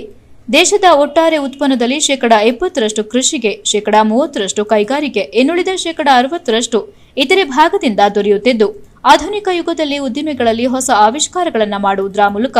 ಸದೃಢ ಸಮಾಜ ನಿರ್ಮಾಣ ಮಾಡಲು ಸಾಧ್ಯವಾಗುತ್ತದೆ ಎಂದರು ಉತ್ಪನ್ನಕ್ಕೆ ಅತ್ಯಂತ ಗಣನೀಯವಾದ ಕೊಡುಗೆಯನ್ನು ಈ ಒಂದು ವಲಯಗಳು ಕೊಡ್ತಾ ಇದೆ ಬಹಳಷ್ಟು ಜನ ಅಗ್ರಿಕಲ್ಚರ್ ನಂಬ್ಕೊಂಡಿದ್ದಾರೆ ಆದರೆ ಕೃಷಿಗೆ ನಂಬ್ಕೊಂಡಿರೋರು ಮಳೆ ಸಕಾಲದಲ್ಲಿ ಮಳೆ ಸಕ ಒಳ್ಳೆಯ ಬೆಲೆ ಸಿಗುತ್ತದೆ ಹಲವಾರು ಕೃಷಿಗಳಿಂದ ತೊಂದರೆಯನ್ನು ಅನುಭವಿಸ್ತಾ ಇದೆ ಸೊ ಆದರೆ ಒಬ್ಬ ಉದ್ದಿಮೆ ಆಗಿದೆ ನಾವು ಅಭಿವೃದ್ಧಿ ಹೊಂದೋದ್ರಲ್ಲೇ ಹಲವಾರು ಜನರಿಗೆ ಉದ್ಯೋಗವನ್ನು ಸಹ ಕೊಡೋಕ್ಕೆ ಅವಕಾಶ ಇದೆ ಈಗ ನಾವು ಕ್ರೆಡಿಟ್ ಪ್ರತಿ ವರ್ಷ ಕ್ರೆಡಿಟ್ ಪ್ಲಾನ್ ಮಾಡ್ತೀವಿ ಅದರಲ್ಲಿ ಕ್ರೆಡಿಟ್ ಗ್ಯಾಪ್ ಅನಾಲಿಸಿಸ್ ಮಾಡ್ತೀವಿ ನಮ್ಮ ಸಣ್ಣ ಪ್ರಮಾಣದ ಉದ್ಯಮಿಗಳನ್ನ ಹೇಳೋದಾದ್ರೆ ಶೇಕಡ ಎಂಬತ್ತರಷ್ಟು ಜನಕ್ಕೆ ಇವತ್ತು ಸಹ ಸಾಲ ಸೌಲಭ್ಯ ಇಲ್ಲ ಅಂದ್ರೆ M S M E e ಘಟಕಗಳಿಗೆ ಶೇಕಡ ಎಂಬತ್ತರಷ್ಟು ಸಾಲ ಸೌಲಭ್ಯಗಳು ಸಿಗದೇ ಇರುವಂತಹ ಸಂದರ್ಭಗಳಿದೆ ಸೊ ಇಂಥ ಸಂದರ್ಭಗಳಲ್ಲಿ ಹೆಚ್ಚು ಹೆಚ್ಚು ನಾವು ಕಾರ್ಯಮುಖರಾಗಬೇಕಾಗ್ತದೆ ಅವು ಇಂಥ ಸಣ್ಣ ವಲಯಗಳಲ್ಲಿ ನೋಡ್ಬೇಕು ಕೆಲವು ಸಣ್ಣ ಮಾರ್ಕೆಟ್ಗಳಲ್ಲಿ ಪಟ್ಟ ಪಟ್ಟಣಗಳಲ್ಲಿ ಅಲ್ಲಿ ಯಾರೋ ಒಬ್ಬರು ಮನೆ ಲೆಟರ್ ಇರ್ತಾರೆ ಬೆಳಿಗ್ಗೆ ಅವರ ಹತ್ರ ಸಾವಿರ ರೂಪಾಯಿ ಇಸ್ಕೊಂಡ್ರೆ ಸಾಯಂಕಾಲ ಸಾವಿರ ರೂಪಾಯಿ ಕೊಡಬೇಕು ಹತ್ತು ಪರ್ಸೆಂಟ್ ಒಂದು ದಿವಸಕ್ಕೆ ಬಡ್ಡಿ ಸೊ ಈ ರೀತಿಯ ಸಣ್ಣ ಸಣ್ಣ ಸಣ್ಣ ಸಣ್ಣ ಬದಲಾವಣೆಗಳನ್ನು ತರುವ ಮೂಲಕ ನಾವು ಒಬ್ಬರನ್ನು ಸಶಕ್ತರನ್ನಾಗಿ ಮಾಡಿದರೆ ಅವರು ಸ್ವಂತ ಕಾಲ ಮೇಲೆ ನಿಲ್ತಾರೆ ಅವರ ಕುಟುಂಬಗಳ ನಿರ್ವಹಣೆ ಮಾಡೋಕ್ಕೆ ಸಾಧ್ಯ ಆಗ್ತದೆ ನೀವೆಲ್ಲ ಗಮನಿಸಿರ್ಬೋದು ಮೊದಲನೇ ಹಂತದಲ್ಲಿ ನಮಗೆ ಹಣ ಸ್ವಲ್ಪ ಆಗ್ಬೋದು ಅದನ್ನ ಕೊಡೋದು ಹತ್ತು ಸಾವಿರ ಆಗಿರ್ಬೋದು ಒಂದು ಲಕ್ಷ ಆಗಿರ್ಬೋದು ಎರಡು ಲಕ್ಷ ಆಗಿರ್ಬೋದು ನಿಮಗೆಲ್ಲ ಬಹಳಷ್ಟು ಜನಕ್ಕೆ ಗೊತ್ತಿರ್ಬೋದು ಇನ್ಫೋಸಿಸ್ ಮೊದಲು ಸ್ಟಾರ್ಟ್ ಮಾಡಿದಾಗ ಕೆ ಎಸ್ ಎಫ್ ಸಿಯಿಂದ ಹತ್ತು ಸಾವಿರ ರೂಪಾಯಿ ಲೋನ್ ಹತ್ತು ಸಾವಿರ ಕೆ ಎಸ್ ಎಫ್ ಸಿ ಅವರಿಗೆ ಸ್ಟಾಲ್ ಆಗಿದೆ ಈಗ ಇನ್ಫೋಸಿಸ್ ಎಷ್ಟು ಬೃಹತ್ ಸಂಸ್ಥೆಯಾಗಿ ಬೆಳೆದಿದೆ ಒಂದು ಬಹುರಾಷ್ಟ್ರೀಯ ಕಂಪನಿಯಾಗಿ ಬೆಳೆದಿದೆ ಲಕ್ಷಾಂತರ ಜನಕ್ಕೆ ಉದ್ಯೋಗ ಕೊಟ್ಟಿದ್ದಾರೆ Canara bank general manager Yogesh B Acharya ಪ್ರತಿಜ್ಞಾವಿಧಿ ಬೋಧಿಸಿದರು ಇದೇ ಸಂದರ್ಭದಲ್ಲಿ ಸ್ಟಾಲ್ಗಳ ಉದ್ಘಾಟನೆ ಮಾಡುವುದರ ಜೊತೆಗೆ ಅರ್ಹ ಫಲಾನುಭವಿಗಳಿಗೆ ಸಾಲಪತ್ರ ವಿತರಣೆ ಮಾಡಲಾಯಿತು ಕಾರ್ಯಕ್ರಮದಲ್ಲಿ ಎಚ್ಡಿಸಿಸಿ ಬ್ಯಾಂಕ್ ಅಧ್ಯಕ್ಷ ಸೋಮನಹಳ್ಳಿ ನಾಗರಾಜು ನಬಾರ್ಡ್ ವ್ಯವಸ್ಥಾಪಕಿ ಮಾಲಿನಿ ಸುವರ್ಣ ಲೀಡ್ ಬ್ಯಾಂಕ್ ವ್ಯವಸ್ಥಾಪಕಿ ರೇವತಿ ಸುಧಾಕರ್ ಸಹಾಯಕ ಮಹಾಪ್ರಬಂಧಕ ಸುನಿಲ್ ಕುಮಾರ್ ಡಿಸಿಸಿ ಬ್ಯಾಂಕ್ ವ್ಯವಸ್ಥಾಪಕ ನಿರ್ದೇಶಕ ಕುಮಾರ್ ಎಸ್ಬಿಐ ವ್ಯವಸ್ಥಾಪಕ ಶ್ರೀಪತಿ ಎಲ್ಲಾ ಸಹಾಯಕ ಬ್ಯಾಂಕ್ಗಳ ವ್ಯವಸ್ಥಾಪಕರು ಉಪಸ್ಥಿತರಿದ್ದರು ರಾಜ್ಯದ ಎರಡು ಉಪಚುನಾವಣೆಯಲ್ಲಿ ಎರಡು ರಾಷ್ಟ್ರೀಯ ಪಕ್ಷಗಳು ಪರಸ್ಪರ ಹಣದ ಚೀಲದ ಆರೋಪ ಹಾಗೂ ಪ್ರತ್ಯಾರೋಪ ಮಾಡಿದ್ದಾರೆ ಕಾಂಗ್ರೆಸ್ ಹಾಗೂ ಬಿಜೆಪಿ ಪಕ್ಷಗಳಿಗೆ ಜೆಡಿಎಸ್ ಪಕ್ಷ ಕಂಡರೆ ಭಯವಿದೆ ಎಂದು ಮಾಜಿ ಸಚಿವ ಎಚ್ ಡಿ ರೇವಣ್ಣ ತಿಳಿಸಿದರು ಮಾಧ್ಯಮದವರೊಂದಿಗೆ ಮಾತನಾಡಿದ ಅವರು ರಾಜ್ಯದಲ್ಲಿ ಕಾಂಗ್ರೆಸ್ ಹೀನಾಯ ಸ್ಥಿತಿಗೆ ಹೋಗಿದೆ ಕಾಂಗ್ರೆಸ್ಗೆ ಉಪಚುನಾವಣೆಯಲ್ಲಿ ಸ್ಪರ್ಧೆ ಮಾಡಲು ಅಭ್ಯರ್ಥಿ ಸಿಗದೆ ಜೆಡಿಎಸ್ ಅಭ್ಯರ್ಥಿಯನ್ನ ಕರೆದುಕೊಂಡು ಹೋಗಿ ಚುನಾವಣೆಗೆ ನಿಲ್ಲಿಸಿದ್ದಾರೆ ಎಂದರು ಸಿಂದಗಿ ಚುನಾವಣೆಯಲ್ಲಿ ಅಭ್ಯರ್ಥಿ ಕುಟುಂಬ ಇಪ್ಪತ್ತೈದು ವರ್ಷಗಳಿಂದ ಜೆಡಿಎಸ್ ಜೊತೆ ಇದ್ದಾರೆ ಮುಸ್ಲಿಂ ಕುಟುಂಬಕ್ಕೆ ಟಿಕೆಟ್ ಕೊಡಲು ಅಲ್ಲಿನ ಹಿಂದೂ ಜನಾಂಗದವರು ಹೇಳಿದ್ರು ಆದ ಕಾರಣ ಮುಸ್ಲಿಂ ಮಹಿಳೆಗೆ ಟಿಕೆಟ್ ನೀಡಿದ್ದೇವೆ ಎಂದರು ಕುಮಾರಸ್ವಾಮಿ ಮೇಲೆ ಕೇಸ್ ಆರೋಪ ಮಾಡುವ ವ್ಯಕ್ತಿಯೇ ಮೊದಲು ಸೂಟ್ಕೇಸ್ ಪಡೆಯುತ್ತಾನೆ ಎಂದು ದೂರಿದ್ರು ನಮ್ಮ ಬಳಿ ಸೂಟ್ಕೇಸ್ ಸಿಗದೇ ಇದ್ದದಕ್ಕೆ ಪಾರ್ಟಿ ಬಿಟ್ಟು ಹೋದ ನಮ್ಮ ಹತ್ತಿರ ಬರೀ ಖಾಲಿ ಚೀಲಗಳಷ್ಟೇ ಇವೆ ಬಿಜೆಪಿ ಜೊತೆ ಮೈತ್ರಿ ಆದಾಗಲೇ ಜಮೀರ್ ಅಹಮದ್ ಪಕ್ಷ ಬಿಟ್ಟು ಹೋಗಬೇಕಾಗಿತ್ತು ತುಮಕೂರು ಹಾಗೂ ಮಂಡ್ಯ ಲೋಕಸಭಾ ಚುನಾವಣೆಯಲ್ಲಿ ಕಾಂಗ್ರೆಸ್ ಅಭ್ಯರ್ಥಿಗಳು ಹಣ ಪಡೆದು ಬಿಜೆಪಿ ಜೊತೆ ಸೇರಿ ದೇವೇಗೌಡರನ್ನ ಸೋಲಿಸಿದ್ರು ಕಾಂಗ್ರೆಸ್ ರಾಷ್ಟ್ರದಲ್ಲಿ ನೆಲಕಚ್ಚುತ್ತಿದೆ ಹಾಸನದಲ್ಲಿ ನಮ್ಮ ವಿರುದ್ಧ ಬಿಜೆಪಿ ಬಿಟಿಂ ಎಂದು ಪ್ರಚಾರ ಮಾಡಿ ಬಿಟಿಂ ಮನೆಗೆ ಬಂದು ಸರ್ಕಾರ ರಚನೆ ಮಾಡಲು ಕಾಲು ಹಿಡಿದರು ಎಂದು ಟಾಂಗ್ ನೀಡಿದರು ಹಾಸನ ಜಿಲ್ಲೆಯಲ್ಲಿ ಕಾಲುಬಾಯಿ ರೋಗ ಜಾಸ್ತಿಯಾಗಿದೆ ಇದುವರೆಗೂ ಹಸುಗಳಿಗೆ ಕಾಲುಬಾಯಿ ಜ್ವರದ ಇಂಜೆಕ್ಷನ್ ನೀಡಿಲ್ಲ ಕಳೆದ ಎರಡು ವರ್ಷದಿಂದ ಕಾಲುಬಾಯಿ ರೋಗ ಜ್ವರಕ್ಕೆ ಕೇಂದ್ರ ಹಾಗೂ ರಾಜ್ಯ ಸರ್ಕಾರದ ಹಣ ಬಿಡುಗಡೆಯಾಗಿಲ್ಲ ಜಿಲ್ಲೆಯಲ್ಲಿ ಕಾಲುಬಾಯಿ ರೋಗದಿಂದ ಎರಡ್ ಸಾವಿರದ ಐನೂರು ಹಸುಗಳು ಸತ್ತು ಹೋಗಿವೆ ಮೋದಿ ಅವರು ಕೊಡಲಿ ಬಸವರಾಜ ಬೊಮ್ಮಾಯಿ ಅವರು ಕೊಡಲಿ ಮೊದಲು ದನಗಳಿಗೆ ವ್ಯಾಕ್ಸಿನೇಷನ್ ಕೊಡಬೇಕು ಕೆಎಂಎಫ್ ಅಧ್ಯಕ್ಷರು ಹಾಲಿನ ದರ ಏರಿಕೆ ಮಾಡಬಾರದು ಇದರಿಂದ ಖಾಸಗಿಯವರಿಗೆ ಅನುಕೂಲವಾಗುತ್ತದೆ ಎಂದು ಕುಟುಕಿದರು ಮತ್ತೆ ಇದು ಚಂದ್ರಶೇಖರ್ ಮನೆ ಕಳಿಸಿದ್ದು ಇವತ್ತು ತಿಂಗಳಲ್ಲಿ ಇವೆಲ್ಲ ಮಾಡಿರೋ ಪಾಪಕ್ಕೆ ಇವತ್ತು ನಾವು ಪಶ್ಚಾತ್ತಾಪ ಪಡ್ತಾ ಇದ್ದೀವಿ ನಲ್ವತ್ತು ಸೀಟಿಗೆ ಬಂದಿದ್ದೀವಿ ಇಂಥ ಕಾಂಗ್ರೆಸ್ ಪರಿಸ್ಥಿತಿ ಆಗಿದೆ ಆ ಎಫ್ನರ್ ಮನೆ ತಕ್ಕ ಖಾಲಿ ಖಾಲಿ ರೀ ಆ ಎಫ್ ಪಾರ್ಟಿ ಮನೆ ತಕ್ಕ ಹೋದರು ಅಲ್ಲೇ ದಡಕ್ ಪಾಪ ಆ ಸಾಬ್ರ ಬಗ್ಗೆ ಮಾತಾಡ್ತಾರೆ ಆ ನಬಿ ನಬಿಯ ಅವನು ಪ್ರಾಣ ಒತ್ತೆ ಇಟ್ಟು ಆ ಪಾರ್ಟಿ ಸಾಯ್ತವ್ರೆ ಆ ಮನುಷ್ಯ ಹಿರಿ ಮನುಷ್ಯ ಇವತ್ತು ಅವನ್ನ ಆ ಸಾಬ್ರನ್ನ ಗುಲಾಮ್ ನಬಿ ಬಿ ಪಾಲ್ ಮಾಡಿದ್ರು ರಾಜ್ಯಸಭೆಯಲ್ಲಿ ಕಣ್ಣೀರು ಹಾಕ್ಕೊಂಡು ಹೋದ ಒಬ್ಬ ಮುಸ್ಲಿಂ ಅವನು ರಾಜ್ಯಸಭೆ ಮತ್ತೆ ಬರೋಕ್ಕೆ ಬಿಟ್ಟಿಲ್ಲ ನಮ್ದಿರಲಿ F party G twenty three ಐತಲ್ರಿ ಜಿ ಟ್ವೆಂಟಿ ತ್ರೀ ಜಿ ಅಂತ ಹೇಳ್ತಾರಲ್ಲ ಕಾಂಗ್ರೆಸ್ ಜಿ ಟ್ವೆಂಟಿ ತ್ರೀ ಅವ್ರನ್ನ ಸರಿಪಡಿಸ್ಕೊಂಡು ಅವರೆಲ್ಲ ಕೂರಿಸ್ಕೊಂಡು ಮತ್ತೆ ಕಾಂಗ್ರೆಸ್ಗೆ ಏನಾದ್ರು ಪುನರ್ಜನ್ಮ ಕೊಡೋಕ್ಕೆ ನೋಡಿ ಅಷ್ಟೇ ನಮ್ದಿರಲಿ ನಮ್ಮ ಎಫ್ ಇಂದು ನಾವು ಹೆಂಗೋ ಎಫ್ ಎಂಬ ನೋಡ್ಕೊತೀವಿ ನಾವು ಚರಣ ಮಡಿಕೇಳಿ ಮತ್ತು ಇದಲ್ದಲೇ ಅಲ್ಲಿ ಮುಸ್ಲಿಂ ಅಭ್ಯರ್ಥಿ ಕೊಟ್ಟವ್ರೆ ಅಂತಾರೆ ನಲವತ್ತು ಸಾವಿರ ಊಟವೇ ಅವ್ರ ಮಾವ ಮನೋಳಿ ಎಲೆಕ್ಷನ್ಗೆ ಹೋಗಿ ಎಲೆಕ್ಷನ್ನಿಂದ ಎಲೆಕ್ಷನಲ್ಲಿ ಕ್ಯಾನ್ವಾಸ್ ಮಾಡೋಕ್ಕೆ ಹೋಗಿ ಆ್ಯಕ್ಸಿಡೆಂಟಾಗಿ ಸತ್ತೋಗ್ಯವ್ರೆ ಇಪ್ಪತ್ತೈದು ವರ್ಷದಿಂದ ಕುಟುಂಬ ಈ ಪಾರ್ಟಿಗೆ ಲಾಯಲ್ಟಿ ಹಿಂದೆ ರಾಮಕೃಷ್ಣ ಹೆಗಡೆ ದೇವೇಗೌಡರಿದ್ದಾಗ ಅವ್ರನ್ನ ಎಮ್ ಎಸ್ ಐ ಅಧ್ಯಕ್ಷ ಮಾಡಿರೋ ಮಾವನ್ನೇ ಈ ಮಾವ ಇದ್ದಾರಲ್ಲ ಸತ್ತೋದ್ರಲ್ಲ ಅವ್ರ ಮಾವ ಮನೋಳಿ ಎಲೆಕ್ಷನಲ್ಲಿ ಪ್ರತಿ ವರ್ಷ ಇಪ್ಪತ್ತರಿಂದ ಇಪ್ಪತ್ತೈದು ಸಾವಿರ ಓಟು ಮುಸ್ಲಿಮಾನ ಓಟು ಜೆ ಡಿ ಎಸ್ಗೆ ಹಾಕ್ತಾವ್ರೆ ಅಲ್ಲಿ ಕುಮಾರಣ್ಣರತ್ರ ಹತ್ರ ದೇವೇಗೌಡ್ರ ಹತ್ರ ಹಿಂದೂಗಳು ಮುಸ್ಲಿಮ್ಸ್ ಎಲ್ಲ ಬಂದು ಇವ್ರಿಗೆ ಕೊಡಬೇಕು ಅಂದ್ರೆ ಏನು ಮಾಡಬೇಕು ನಾವು ನಾನು ಹೇಳೋದು ಈ ಪರಿಸ್ಥಿತಿ ಐತಿ ಯಾಕೆಂದರೆ ಕಾಂಗ್ರೆಸ್ಗೆ ಡೇ ಬೈ ಡೇ ಇಡೀ ರಾಷ್ಟ್ರದಲ್ಲೇ ನೆಲ ಕಚ್ತಾ ಇದೆ ಕೆಲವು ಕಡೆ ಠೇವಣಿ ತಗೋತಾ ಇಲ್ಲ ಕಾಂಗ್ರೆಸ್ ಇಂಥ ದುಸ್ಥಿತಿ ಬಂದಿದೆ ದಯಮಾಡಿ ನಮ್ಮದು ಬಿಡಿ ನಿಮ್ಮ ಕಾಂಗ್ರೆಸ್ನ ಮುಖಂಡರುಗಳಿಗೆ ಹೇಳೋದಿಷ್ಟೇ ನಿಮ್ಮ ಪಾರ್ಟಿ ಸರಿಪಡಿಸ್ಕೊಂಡು ಆ ಕೋಮ್ ಕೋಮುವಾದಿಗಳ ಜೊತೆ ಸೇರಿದಲ್ಲೇ ಫೈಟ್ ಮಾಡಿ ಸ್ವಾಮಿ ನಾವೇನು ಬೇಡ ಅಂತೀವ ಫೈಟ್ ಮಾಡಿ ಇಲ್ಲೇ ಹೇಳಿದ್ರಿ ಹಾಸನದಲ್ಲಿ ಎ ಟೀಮ್ ಬಿ ಟೀಮ್ ಅಂದ್ರಿ ಆ ಬಿ ಟೀಮ್ ಮನೆ ಬಾಗಿಲಿಗೆ ಬಂದು ಕಾಲು ಕಟ್ಟಿದ್ರಲ್ಲ ಹಾಸನ ಜಿಲ್ಲೆಯ ಎಂಜಿನಿಯರಿಂಗ್ ವಿದ್ಯಾರ್ಥಿಯೊಬ್ಬ ವಿಡಿಯೋ ಮಾಡಿಟ್ಟು ಆತ್ಮಹತ್ಯೆ ಮಾಡಿಕೊಂಡಿರುವ ಹೃದಯ ವಿದ್ರಾವಕ ಘಟನೆ ಹಾಸನದಲ್ಲಿ ನಡೆದಿದೆ ಜಿಲ್ಲಾ ಪೊಲೀಸ್ ವರಿಷ್ಠಾಧಿಕಾರಿ ಶ್ರೀನಿವಾಸ್ ಗೌಡ ಮಾತನಾಡಿ ಸಿಸಿಟಿವಿ ಕ್ಯಾಮೆರಾ ಅಳವಡಿಸಲಾಗುವುದು ದೇವಿ ದರ್ಶನಕ್ಕೆ ಜಿಲ್ಲೆ ಸೇರಿದಂತೆ ರಾಜ್ಯದ ನಾನಾ ಮೂಲೆಗಳಿಂದ ಲಕ್ಷಾಂತ ಭಕ್ತರು ಬರುವ ಆಗಮಿಸುವ ಹಿನ್ನೆಲೆ ದೇವಿಯ ದರ್ಶನಕ್ಕೆ ಬರುವ ಭಕ್ತರಿಗೆ ಯಾವುದೇ ಸಮಸ್ಯೆ ಉಂಟಾಗದಂತೆ ಕ್ರಮ ವಹಿಸಲಾಗುವುದು ಎಂದರು ಹೆಚ್ಚುವರಿ ಡಿಆರ್ ತುಕುಡಿ ಮುನ್ನೂರು ಮಂದಿ ಪೊಲೀಸ್ ಮೂರು ತಂಡ ರಚನೆಯೊಂದಿಗೆ ಬಂದೋಬಸ್ತ್ ಕೈಗೊಳ್ಳಲಾಗಿದೆ ಆರೋಗ್ಯ ಇಲಾಖೆಯೊಂದಿಗೆ ಪೊಲೀಸ್ ಸಿಬ್ಬಂದಿಗಳು ಸಹಕಾರ ನೀಡಲಿದ್ದು ಎರಡು ಇಲಾಖೆಗಳು ತಂಡವಾಗಿ ಕಾರ್ಯನಿರ್ವಹಿಸಲಿದೆ ಎಂದು ಹೇಳಿದರು ಸುಗಮವಾಗಿ ದರ್ಶನ ಪಡೆಯಲು ಬ್ಯಾರಿಕೇಡ್ ಚೈನ್ ಸಿಸ್ಟಮ್ ಮಾಡಲಿದ್ದೇವೆ ಜಿಲ್ಲೆಯ ಎಲ್ಲಾ ಪೊಲೀಸ್ ಸಿಬ್ಬಂದಿಗಳು ದರ್ಶನದ ವೇಳೆ ಕಾರ್ಯನಿರ್ವಹಣೆ ಮಾಡಲಿದ್ದಾರೆ ಇತರೆ ಜಿಲ್ಲೆಯಿಂದ ಎಪ್ಪತ್ತು ಹೋಂಗಾರ್ಡ್ ಮತ್ತು ವಾಹನಕ್ಕೆ ಮನವಿ ಮಾಡಲಾಗಿದೆ ಹಾಸನಾಂಬ ದೇವಾಲಯದಲ್ಲಿ ಯಾವುದೇ ಗೊಂದಲವಾಗದಂತೆ ನೋಡಿಕೊಳ್ಳುವುದಾಗಿ ಹೇಳಿದರು ಸುದ್ದಿಗೋಷ್ಠಿಯಲ್ಲಿ ಶಾಸಕ ಪ್ರೀತಂ ಜೇಗೌಡ ಜಿಲ್ಲಾಧಿಕಾರಿ ಆರ್ ಗಿರೀಶ್ ಜಿಲ್ಲಾ ಪಂಚಾಯಿತಿ ಮುಖ್ಯ ಕಾರ್ಯನಿರ್ವಹಣಾಧಿಕಾರಿ ಬಿಎ ಪರಮೇಶ್ ನಗರಸಭೆ ಅಧ್ಯಕ್ಷ ಮೋಹನ್ ಕುಮಾರ್ ಉಪವಿಭಾಗಾಧಿಕಾರಿ ಜಗದೀಶ್ ಹಾಗೂ ಇತರರು ಉಪಸ್ಥಿತರಿದ್ದರು ಅದರದ್ದು ಪೂರ್ಣ ತನಿಖೆ ನಾವು ಮಾಡ್ತಿದ್ದೀವಿ ಇದು ಒಂದು ಆತ್ಮಹತ್ಯೆ ಯಾವ ಕಾರಣಕ್ಕೆ ಮಾಡ್ತಿದ್ದಾರೆ ಅನ್ನೋದನ್ನು ತನಿಖೆಯಿಂದ ನಾವು ಬಹಿರಂಗಪಡಿಸ್ತೀವಿ ಅದರಲ್ಲಿ ಕೆಲವು ಗಣ್ಯ ವ್ಯಕ್ತಿಗಳನ್ನು ಹೆಸರನ್ನು ಹೇಳಿ ಅವರು ನನ್ನ ಅಂತ್ಯ ಸಂಸ್ಕಾರಕ್ಕೆ ಬರಬೇಕು ಅಂತ ಅವ್ರು ಏನು ಕೇಳ್ಕೊಂಡಿದ್ದಾರೆ ಅದಕ್ಕೆ ಅದು ವಿಡಿಯೋ ಏನು ಸರ್ಕ್ಯುಲೇಟ್ ಆಗ್ತಿದೆ ಅದನ್ನು ನಾವು ಕಲೆಕ್ಟ್ ಮಾಡ್ಕೊಂಡಿದ್ದೀವಿ ಇವಾಗ ಶವ ಪರೀಕ್ಷೆ ಹಾಗೂ ಮುಂದಿನ ಕಾರ್ಯಗಳನ್ನ ನಾವು ಅನುವು ಮಾಡ್ಕೊಡೋಕ್ಕೆ ನಮ್ಮ ಪೊಲೀಸ್ನವರು ಅವರ ಕುಟುಂಬದವ್ರ ಜೊತೆಗೆ ಟಚ್ಚಲ್ಲಿದ್ದಾರೆ